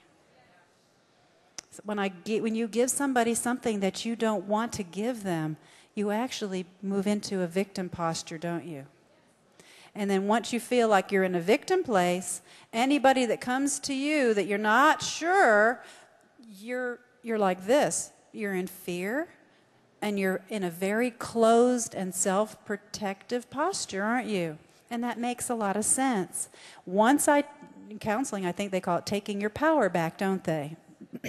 Once I get my agreement back and go, okay, I don't, I don't, I no longer agree, have to agree with what I don't agree with. I've actually taken my power back. I actually can choose what I, what I like and don't like, what I believe and what I don't believe. Therefore, I can listen to, you can listen to me and not go, oh, what if she does something really weird? Um, you know, then you maintain a being, suspicious. you know, the word, it's like auspicious with a sus. Suspicious. Okay? This being suspicious is not an open posture, is it? Okay, but once I feel that I don't have to do what somebody wants me to do if I don't want to do it, then I'm not suspicious. I don't care. I've got my I've got power back, don't I? Feels good, doesn't it? Feels powerful. Okay, um, so that we were ran into that. Okay, now let's see, where, where do we want to go? Um, we have the spirit, the soul, and the body. We want to do alignment. Um,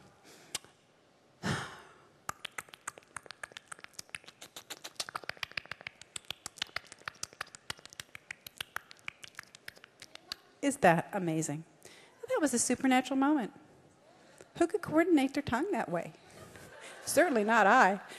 You notice I can't even say suspicious, let alone do that amazing little whatever it was. and I certainly could never do it again.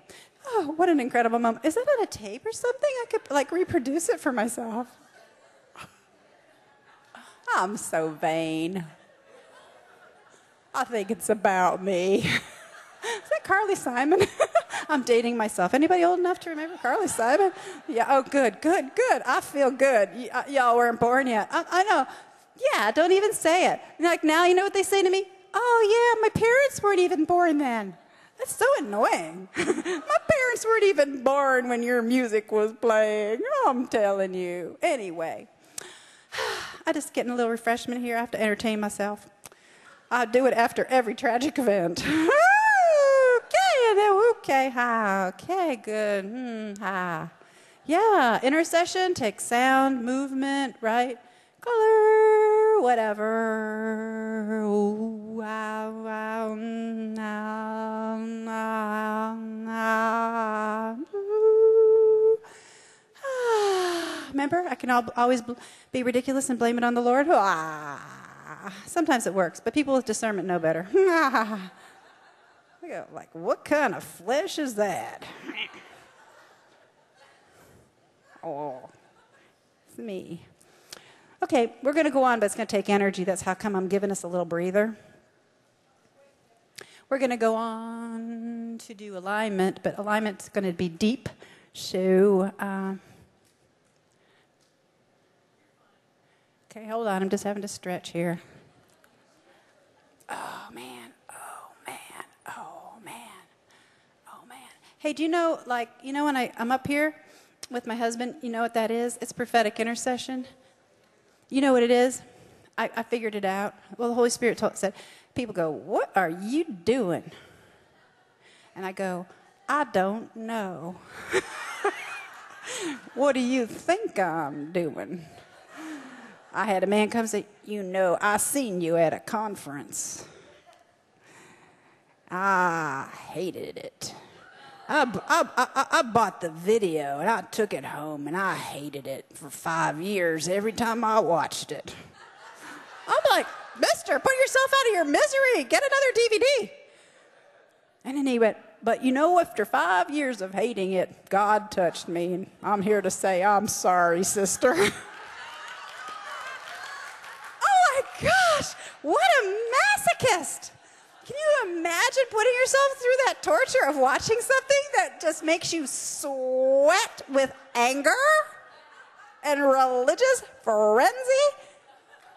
Praise the Lord, he loved that guy enough to, you know, set him free so he didn't have to torture himself with that same DVD for another five years. But aren't we just that way? Oh, mean. Oh, I just love to sit and look at something go, that annoys me so much. Shut it off. Shut it off if it bothers you. Look the other way. Hey, give it a break. oh, we could do my whole thing on judgment and criticism. Oh, no, we don't have time for that.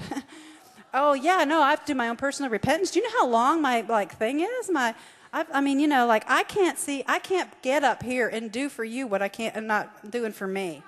It's, I have to just tell you, if I'm not in the mood to get out my own personal laundry, what the heck is going to happen? Nothing. Nothing. Nothing good can happen if I'm not willing to be the sacrifice. See, I'm not, I'm up here, I'm up here with, I have to practice identification.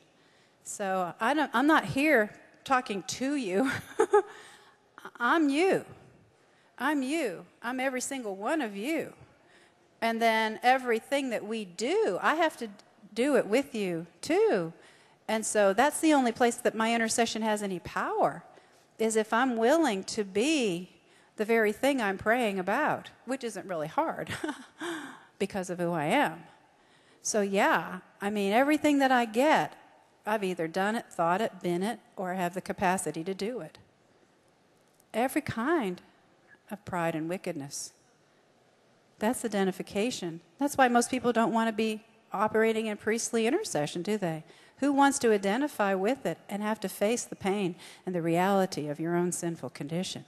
But as you do, you're only, not only are you cleansed, but the uh, people that you're praying for and with are transformed, and you're doing the work of Jesus Christ. That's pretty great, isn't it? Okay, um, spirit, soul, and body. Uh, like this Arthur Burk guy, he, he talks about the alignment and he prays, you know, spirit, spirit, he calls the spirit to attention. Now, you know, our spirits, they actually depends on you, the person, but you will feel if uh, we address the spirit, you can actually feel your spirit uh, quicken in your body. It's a lot depends on the sense of the, the I think it depends on the hydration of your spirit. I've noticed in the times that I've been ministering to people, and you'll, you've probably noticed it, when people are really, really, really dried out, you'll notice that, the, that it takes a lot of juice from the anointing to bring a quickening in the person who's receiving it because they are so dehydrated. And then you'll notice people that are very spiritually hydrated, you don't have to hardly do anything, and their spirit is, is very lively and quickened. That, my theory, it has to do with hydration. When people are very uh, burned out, tired out, spiritually drained, they've let their own spiritual batteries get really, really low. People like that are very hard to minister to because you, they have to, you have to give so much of your own vitality to bring any life to them. And uh, um, of course, you know, there are like this really big supernatural zappos from the Lord when He's like, but if you're really ministering into anything that's deep in the person, if they're very dehydrated, uh, it, it can be very hard for them to receive, and you can really feel like, man, this is the deadest prayer I ever prayed in my entire life. A lot of that has to do not necessarily with their unbelief, it has to do with the lack of spiritual hydration in the person you're ministering to.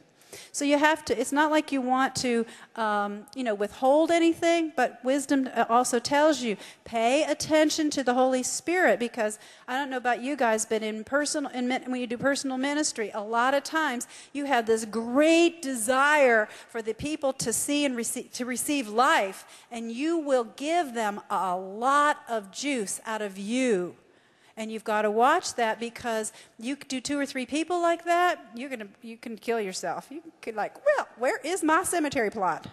I hope it's near the church, as I've just about made myself dead.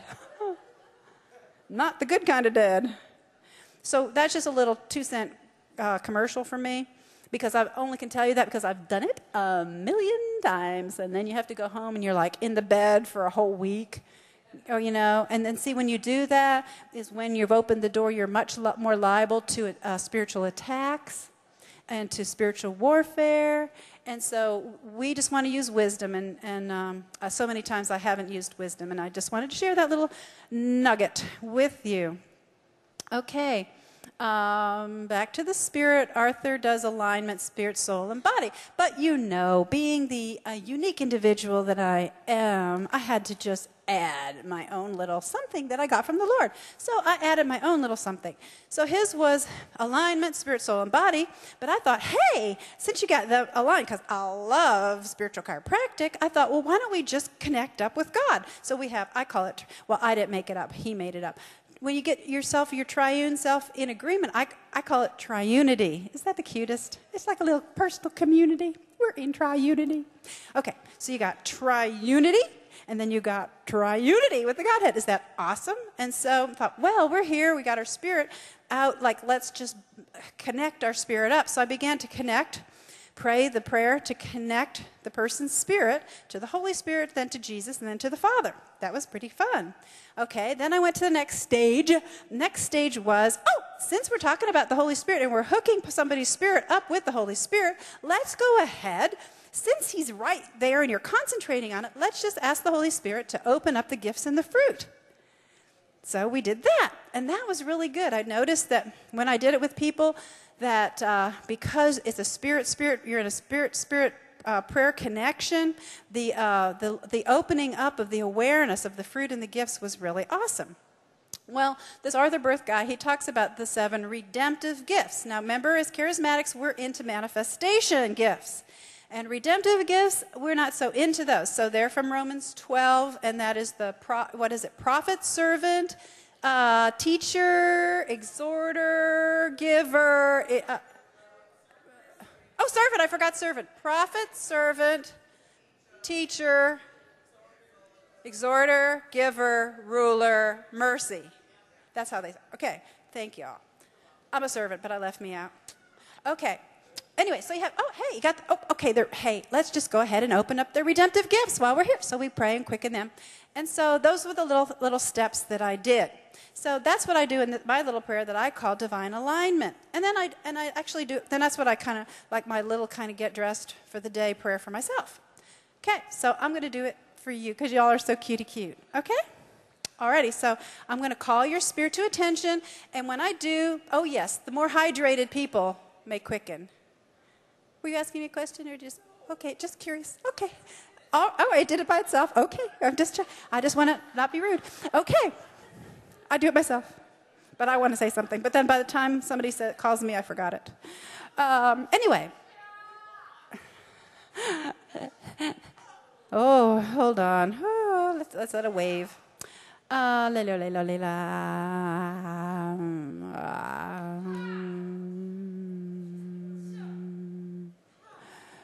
Good. Okay. You might feel it if you're not do- too dehydrated. If you're a feely person, you'll feel it. Um, it's nothing wrong. You might feel it shift. I am not doing anything weird uh, by calling your spirit, your so- spirit, your soul, and your body. They're kind of facets, and we know about the mind-body connection and all that. So we know I'm not. Um, you know, there's a thing called oh, you might not have heard of it, dualism. It's not to be confused with the trucks with extra tires. Those are dualies. Um, this is dualism. And dualism is this, you know, teaching. I don't know if it's related to Gnosticism, Gnosticism with a G. Uh, Gnosticism, you know, that's kind of the thing like be a spirit, only spirit is good, everything that's created is bad. That was kind of like the little vague teaching that your soul is bad, so kill the thing and, and soul. And if the best thing that you can do is just be a spirit. But if it was such a good thing, just be a spirit, then how come Jesus came in a body? So that means the body's not bad. Okay? So that's kind of Gnostic heresy. Um, anyway, so I'm not, it's not about Gnosticism as I speak to the three different parts. I'm not saying that they're separate. I just want to honor the facetedness of you-ness. Okay? It's just like when I talk about the Holy Spirit and Jesus and the Father, I'm not separating them. I'm simply talking about a facet of the same Godhead. Isn't that lovely? Okie dokie, are you ready? Ah, are you exhausted after my introduction? I bless you, lovely, cute people. Okie dokie, I'm going to start having more fun again. Okay, oh, time's running out, and this takes me two hours normally. Oh, no, only kidding. um, so pay attention. Okay, in the name of the Lord Jesus Christ. No, no, no, no, no, no, no, no, no, no. You just relax and receive and quicken. and I'll do it to you. So sorry. Okay, so in the name of Jesus, I want to call your spirits to attention. And I, woo, good. I call your spirit man to attention.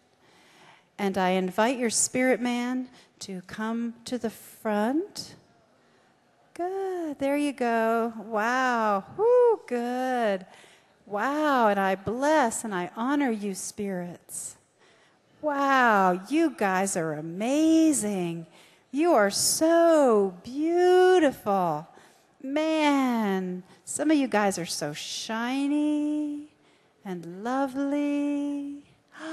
luminous. The Lord calls you luminous and lovely. Wow, totally unique. There's never been another you. Wow. Oh, full of virtue, full of virtue and truth. Mmm. And I just release now a sprinkling of living water onto you, Spirit. Some of you are a little tired, some are a little dehydrated, and some of you have been in dusty places. So I just release the hydration mm, woo, of the Holy Spirit. Wow. Wow. Just the most beautiful living water just sprinkling over you, over each one of you, just the way you like it. Some are really, really gentle, some are a little bit spritzy and carbonated, but each of you spirits is getting a beautiful spritz, just the way that feels good to you. Yes, cutie cute. Love you. He wants to kiss you. I know. Those birds are so kissy sometimes. Woo, hold on. Or whoa. Come on, you guys are floaty guys. I just bless all you floaty ones. Woo, there you go. Wow. Wow. Keep some people need to come a little bit more to the front because it's not that scary, is it? Yeah, good. I just bless your spirits. I bless your spirits with truth. Mm-hmm. Oh yeah, kindness. Yeah, feel the kindness of the Lord just touching your spirit. Mm-hmm. Woo! Beautiful is that. How beautiful is that? Just keep, yeah, just keep letting Him quicken you, quicken you. Mm-hmm. I just want to lift off of anybody that might have it. It'll come off. Any generational burdens that are created any heaviness on your spirit. Yeah, good. There they come. There they come. Yes, yes, yes. Yeah, those are coming right off. Wowee. Generational grief is coming off of some of you. Yeah, you've had grief and it wasn't even you. It never was you. And you carried it forever and ever. But it's just in the bloodline and it's coming. Ooh, there it goes. Flying right off. Wow, flying right off. Super. Woo. Hold on, hold on. Ooh, some of you are stretching out. Your spirits are stretching out.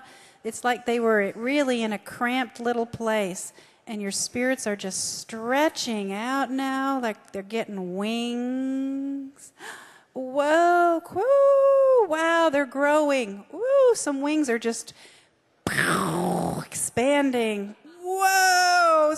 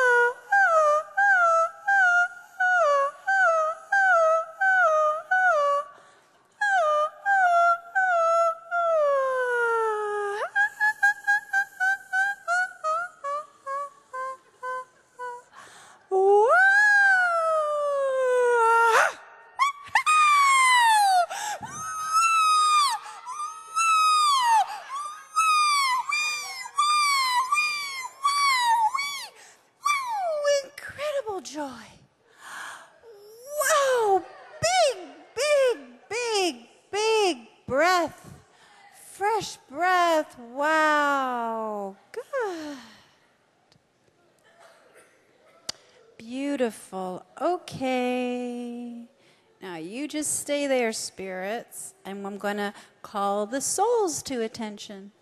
So I call everybody's soul to attention. Woo, good. There you go. And I bless you as you come to the front. Yeah, there you are. Don't be afraid. Some are a little shy. Don't be afraid. Yeah, like, yeah, I heard that before. no, we're not going to do anything bad to you, soul. We're going to give you some free choices here. And we're going to put you in a new place if you'd like to go there, in a new position where you will get all of your needs met. Yeah, some of you souls are very, very tired and worn out. Wow, some of your souls have been in the front and been very hit by a lot of hard life. Yeah, and you need to come in under spirit so that wonderful hydration can just fill your soul and cause all the myriad beauty of your soul to come forth. hold on. Mm. Now, some of you souls are a little bit dull. And I feel like uh, life's hardships have dulled the senses of your soul and dulled uh, almost like the capacity of your soul for life. So I'm going to lift off of you, soul, all dullness, all heaviness, all weariness, all loss of play, all loss of play. Loss of play is being removed. Childlikeness is coming back into the soul realm. Whoa, there it is. There it is. Wow. Wow, for some of you, there's extreme creative release in, in play- playfulness. We've got playfulness coming back into the soul realm. Wow, creative ideas, inventions. Oh my, recipes. Recipes. Recipes are formulas. New formulas are coming on board in your soul. Yeah, oh my gosh, oh my gosh. There's rearranging going on in your souls that's tremendous, tremendous rearranging of your souls. It's wonderful, wonderful. Wow, wow, illumination is coming to your souls. How great is that? How great is that? The light bearing capacity of your souls is increasing. Whoa, there it is. Woo, beautiful, awesome. Now, souls, I'm going to invite you, and you can choose. Um, some souls like to go underneath the Spirit, and some souls like to be behind. So you can choose whichever's comfortable for you. Okay, so either way, I invite you to come in under your spirit or behind your spirit, whichever you like, and just come in and just slip in to your perfect position. Very nice. You're all clicking in. Clickety, clickety, clickety, clickety. Click, click, click, click. Wonderful. Okay, now let's pray, play, in, uh, pray interfacing. So there's going to be divine hooking up, little hookups that were designed, woo, at the beginning of time in God's creation. Little hookings up for communication between spirit and soul as so, soul's in the right place. Whoa, you feel that burning? Woo, burning. It's hot or some, some stuff is really hooking up and reconnecting. Yeah. Oh, this is getting rid of a lot of self rejection, self alienation, separation within uh, yourself. Mm-hmm. Any antagonism within the self. Woo. Any enmity within the self is leaving. That's beautiful as this connecting up is happening. Now, while you're continuing to interface between spirit and soul, I want to call your bodies to attention. So I call your bodies to attention in the name of the Lord Jesus Christ, and I invite you, body, to come to the front. Good. Whoa, thank you so much for responding. Oh, man. Whoa, hold on. And we're just going to see. I'm going to have a little look at bodies, and um, I don't know. I just want to speak to the liver in general. I want to speak to any any livers that want to uh, be quickened right now. Okay, there's several livers, and I, I address you. Um, yeah, you need a little quickening. Good. So we're going to release quickening to the liver. And there's just a little bit for uh, a couple of you livers. There's a miscommunication problem happening. So I want to, ooh, you feel that? Yeah. Okay, I want to lift off all miscommunication that is within the liver. Now, some of this miscommunication is spiritual, some's emotional. Yeah, ooh, good. Okay, so I'm going to lift off emotion that's settled into the liver. Ooh, man, mm, feel that? Shoo. Oh, hold on. Just, um, I lift off grief and sorrow and sadness. I lift off all hardness of heart that actually is manifesting in the liver. And so I lift, we lift all of that off of the liver. Good, beautiful. Yeah. yeah, hold on. You guys are doing so great. You're doing so great. Now, there's a little chemical imbalance. I don't really know that much biology. I know the gallbladder's friends with the liver, and the pancreas is in there too, isn't it? Yeah. Let's just speak to that triune positioning of pancreas, gallbladder, and liver. Do you feel that, kids? And I speak to the com- inner community of the liver, gallbladder. Hold on, right there it is. Any blockages?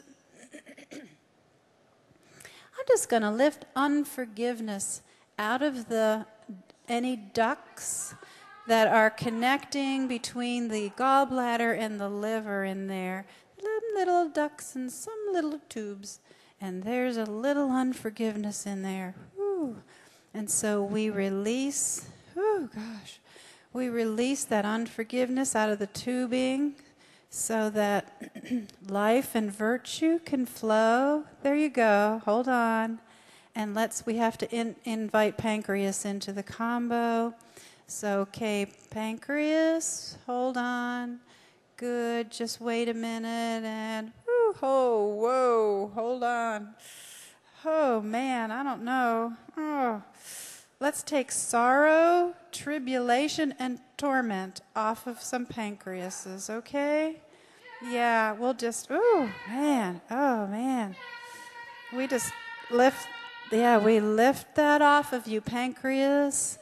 Good. Hold on, and let's ask the circu- Let's ask the uh, circulatory system to just release a little extra blood flow into that that threefold area now. So we're going to ask for blood circulation to begin to increase.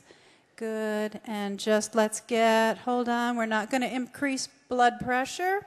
We're just going to increase a little bit more flow. Let's have a little bit of a surge. And we're get hold on, we're going to have a little countdown for the surge. Okay, so we're going to wait, wait, wait, and surge.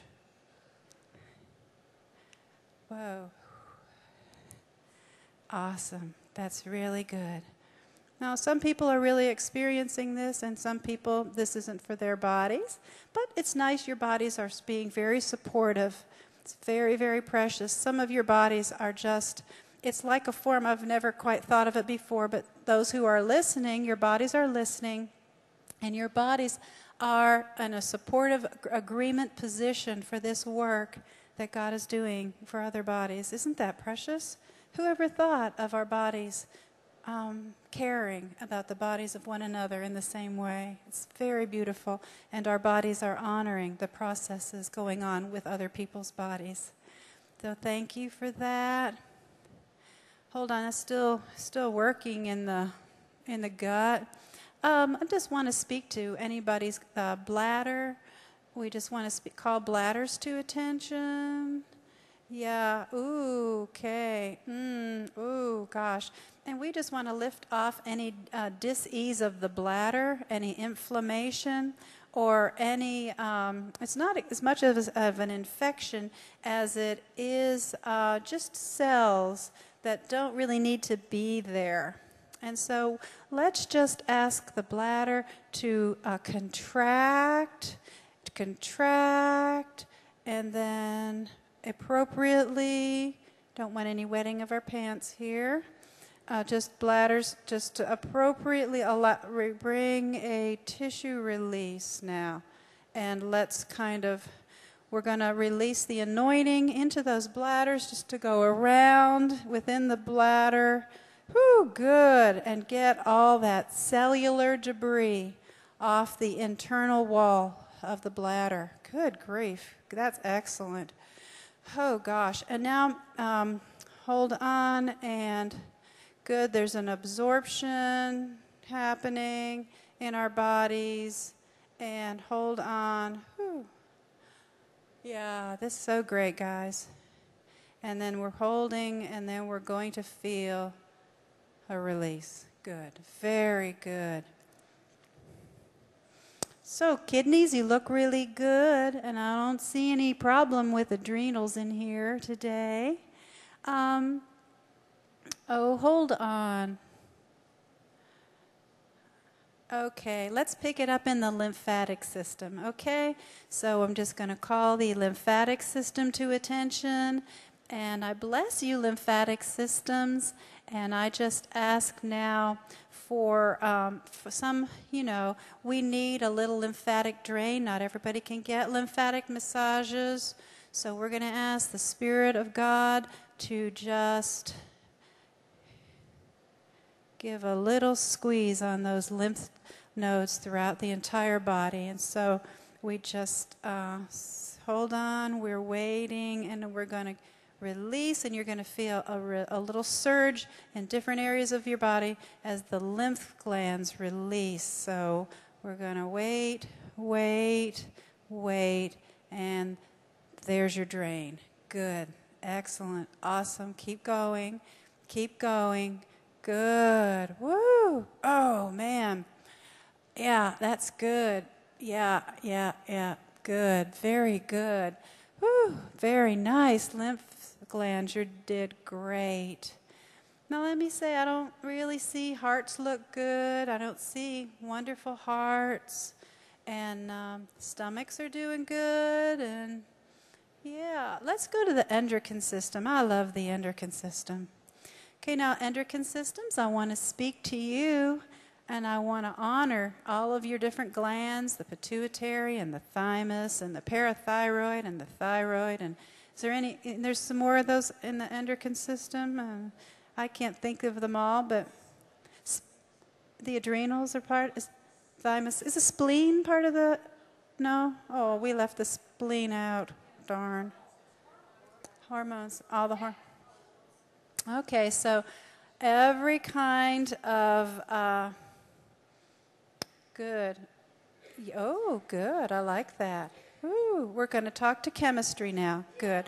Cause, well, there because we have endocrine is uh, chemistry, but also uh, that also all those other little hormones uh, also affect uh, uh, brain chemistry. So we're going to hit the brain chemistry as well as the rest of the chemistry, right?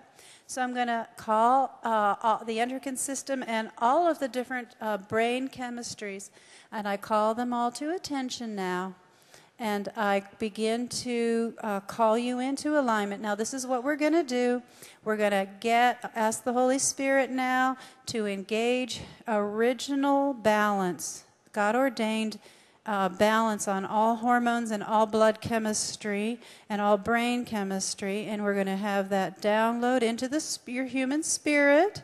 Very nice. And then we're going to, uh, good, we're going to call it into alignment now. So, in the name of the Lord Jesus Christ, I call every type of chemistry, blood, uh, brain, and endocrine, all chemicals, we call it in to God ordained alignment and we release homeostasis now. Good. Hold on. Now, some of you are actually feeling, you might feel something in your brain re, uh, reversing. There's some actual reversal of, uh, of uh, the way of function, and that's good because some of it's not been right. Very good. Now that's going to just keep on working. And uh, that was the body. So bodies, as you keep on working, the whole your personal spirits are have the data that's necessary to keep on working with your personal processes. So this will keep on working within your body as we go along. So even into tonight, you're going to be feeling it. So it's a good thing. Alrighty, bodies, I just invite you now to come in either under spirit and soul or behind, whichever is your alignment of preference, and for you to click in and come into your alignment and interface. Good. Now we come back to spirit, and I want to call to attention, first of all, the seven redemptive gifts in each person. So I call the prophet portion of your human spirit to attention in the name of the Lord Jesus Christ. Wow, you'll feel different. Woo, ones will quicken and who have that particular prophet uh, redemptive gift. Good, and that's about alignment. It's a little bit similar to the prof- regular prophet gift, but a little bit different. And so we call that prophet portion to attention. We bless their prophet portion.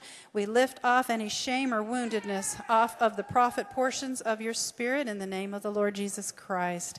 Now I call your servant portion to attention in the name of Jesus. And ask your uh, spirit, uh, your servant portion to just quicken now and interface with Holy Spirit. Very nice. Your servant portion is a lot about cleansing, the process of, of, of uh, operating cleansing and re- redemptive process. And so I bless, I release the cleansing of the blood of Jesus over those servant gifts who's been rode hard and put up wet uh, any place of burnout that's happening in the, re- in the redemptive gift of servant, um, I release he- health and healing, vitality and virtue to the servant gift in the human spirit. Now I'm going to call to attention the teacher gift and uh, ask, woo, good, for the quickening on the teacher gift uh, of your human spirit. Very good. Woo, you're going to feel uh, ooh, some people who that's your main, more mainer gift, you're going to feel a divine activation on that. Again, uh, shame and false beliefs and lies I lift off of all servant gifts, uh, excuse me, all teacher gifts in the name of Jesus. Really good, very good, good line because there's lining up with truth and uh, right doctrine, cleansing of uh, illegal um, beliefs uh, out in Jesus' name. Very nice. Woo, let's go on. Uh, from teacher, let's go. I call exhorter to attention in the name of the Lord Jesus Christ, and I bless the exhorter gift in Jesus' name. Uh, good, you people lover. You love people. Um, mm, yes, but I lift off of you that any place of fear of man or man pleasing, which is the downside for exhorter. And I lift that off of you. Any particular wounding in exhorter that has shut you down from your gift. You're good with evangelism and you're uh, good with gathering. So I bless you, exhorters, in the name of Jesus. Now I'm going to call to attention the redemptive gift of giver. Givers, I call you to attention in the name of the Lord Jesus Christ, and I bless you today. Woo, good. Let's activate givers. Givers love to have uh, family activities to gather the body of Christ. There, uh, it's a where the gift, the networking comes out of. And so I just bless you're putting the, the, the, giver gift that brings things together and has the gift of assembling. And even this woohoo, assembly within the facets of your own spirit, good coordinator. So I bless you, exhorter, in the name of Jesus. Now let's I want to call to attention now where we should be at ruler. Ruler, I call you to attention in the name of Jesus. You are our good administrator and organizer. I bless you, ruler.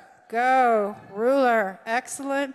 We just came out of the ruler season. We're in the mercy season, but ruler, you are still a fabulous facet of the human spirit, and I bless you with a whole new way of functioning. Where you're not held in by the restrictions of such tight delineation as in the previous spiritual season, but you're into uh, just less work and more uh, stuff coming out of it. Amen to that.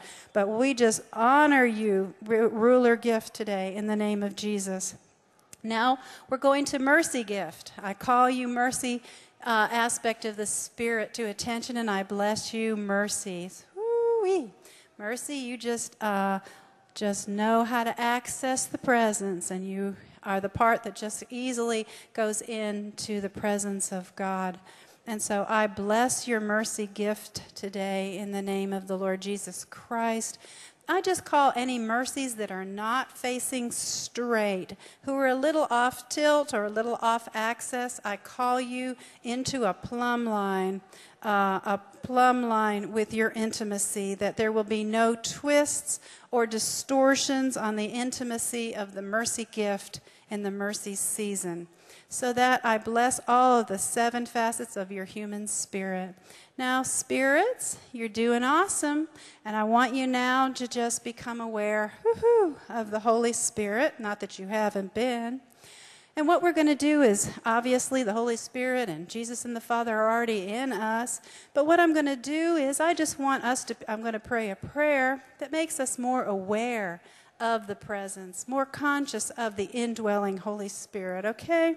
So I'm just going to ask your, you guys, your spirits, to just open up to kind of, I call it dilate, just to dilate a little bit and we're going to ask the Holy Spirit just to release a more perception of His presence as He infills your human spirit in an entirely new dimension. And so just allow the Holy Spirit to fill you and for you to become more conscious of His presence in your spirit as He opens up within your spirit His love and joy and peace, His kindness patience, and goodness, his faithfulness, gentleness, and self control.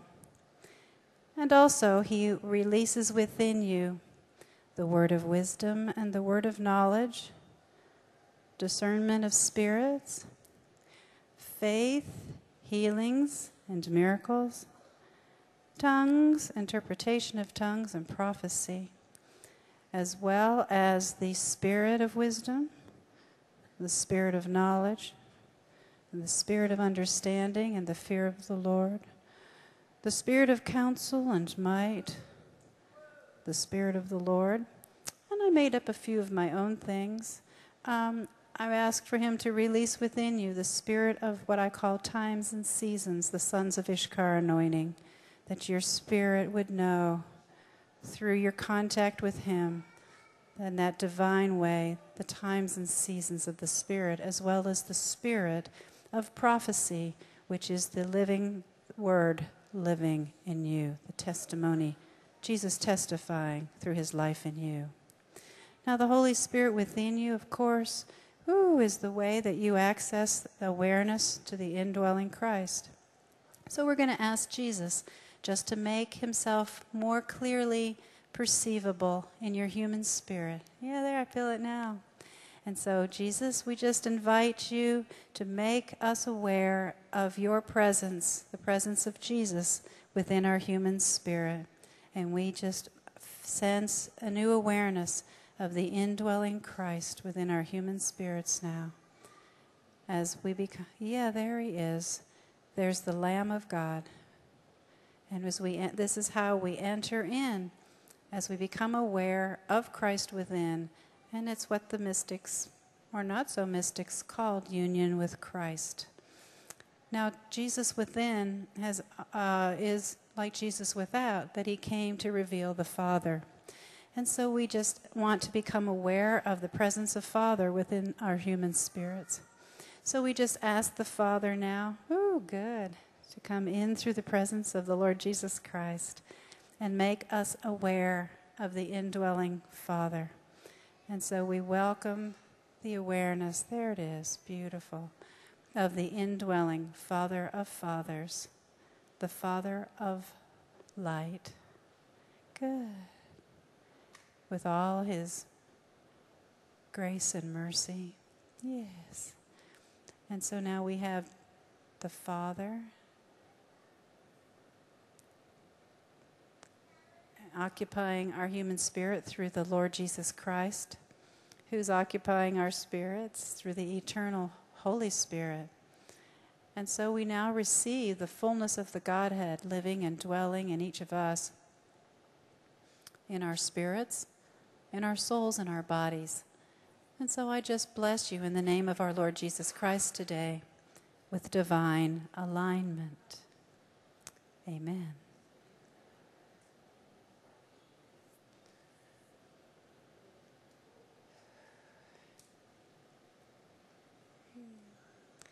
Very peaceful, isn't it? Yes.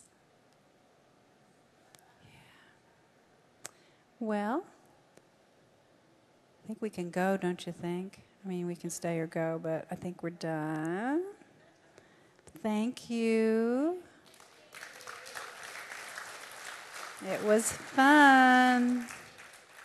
And I'll see y'all later.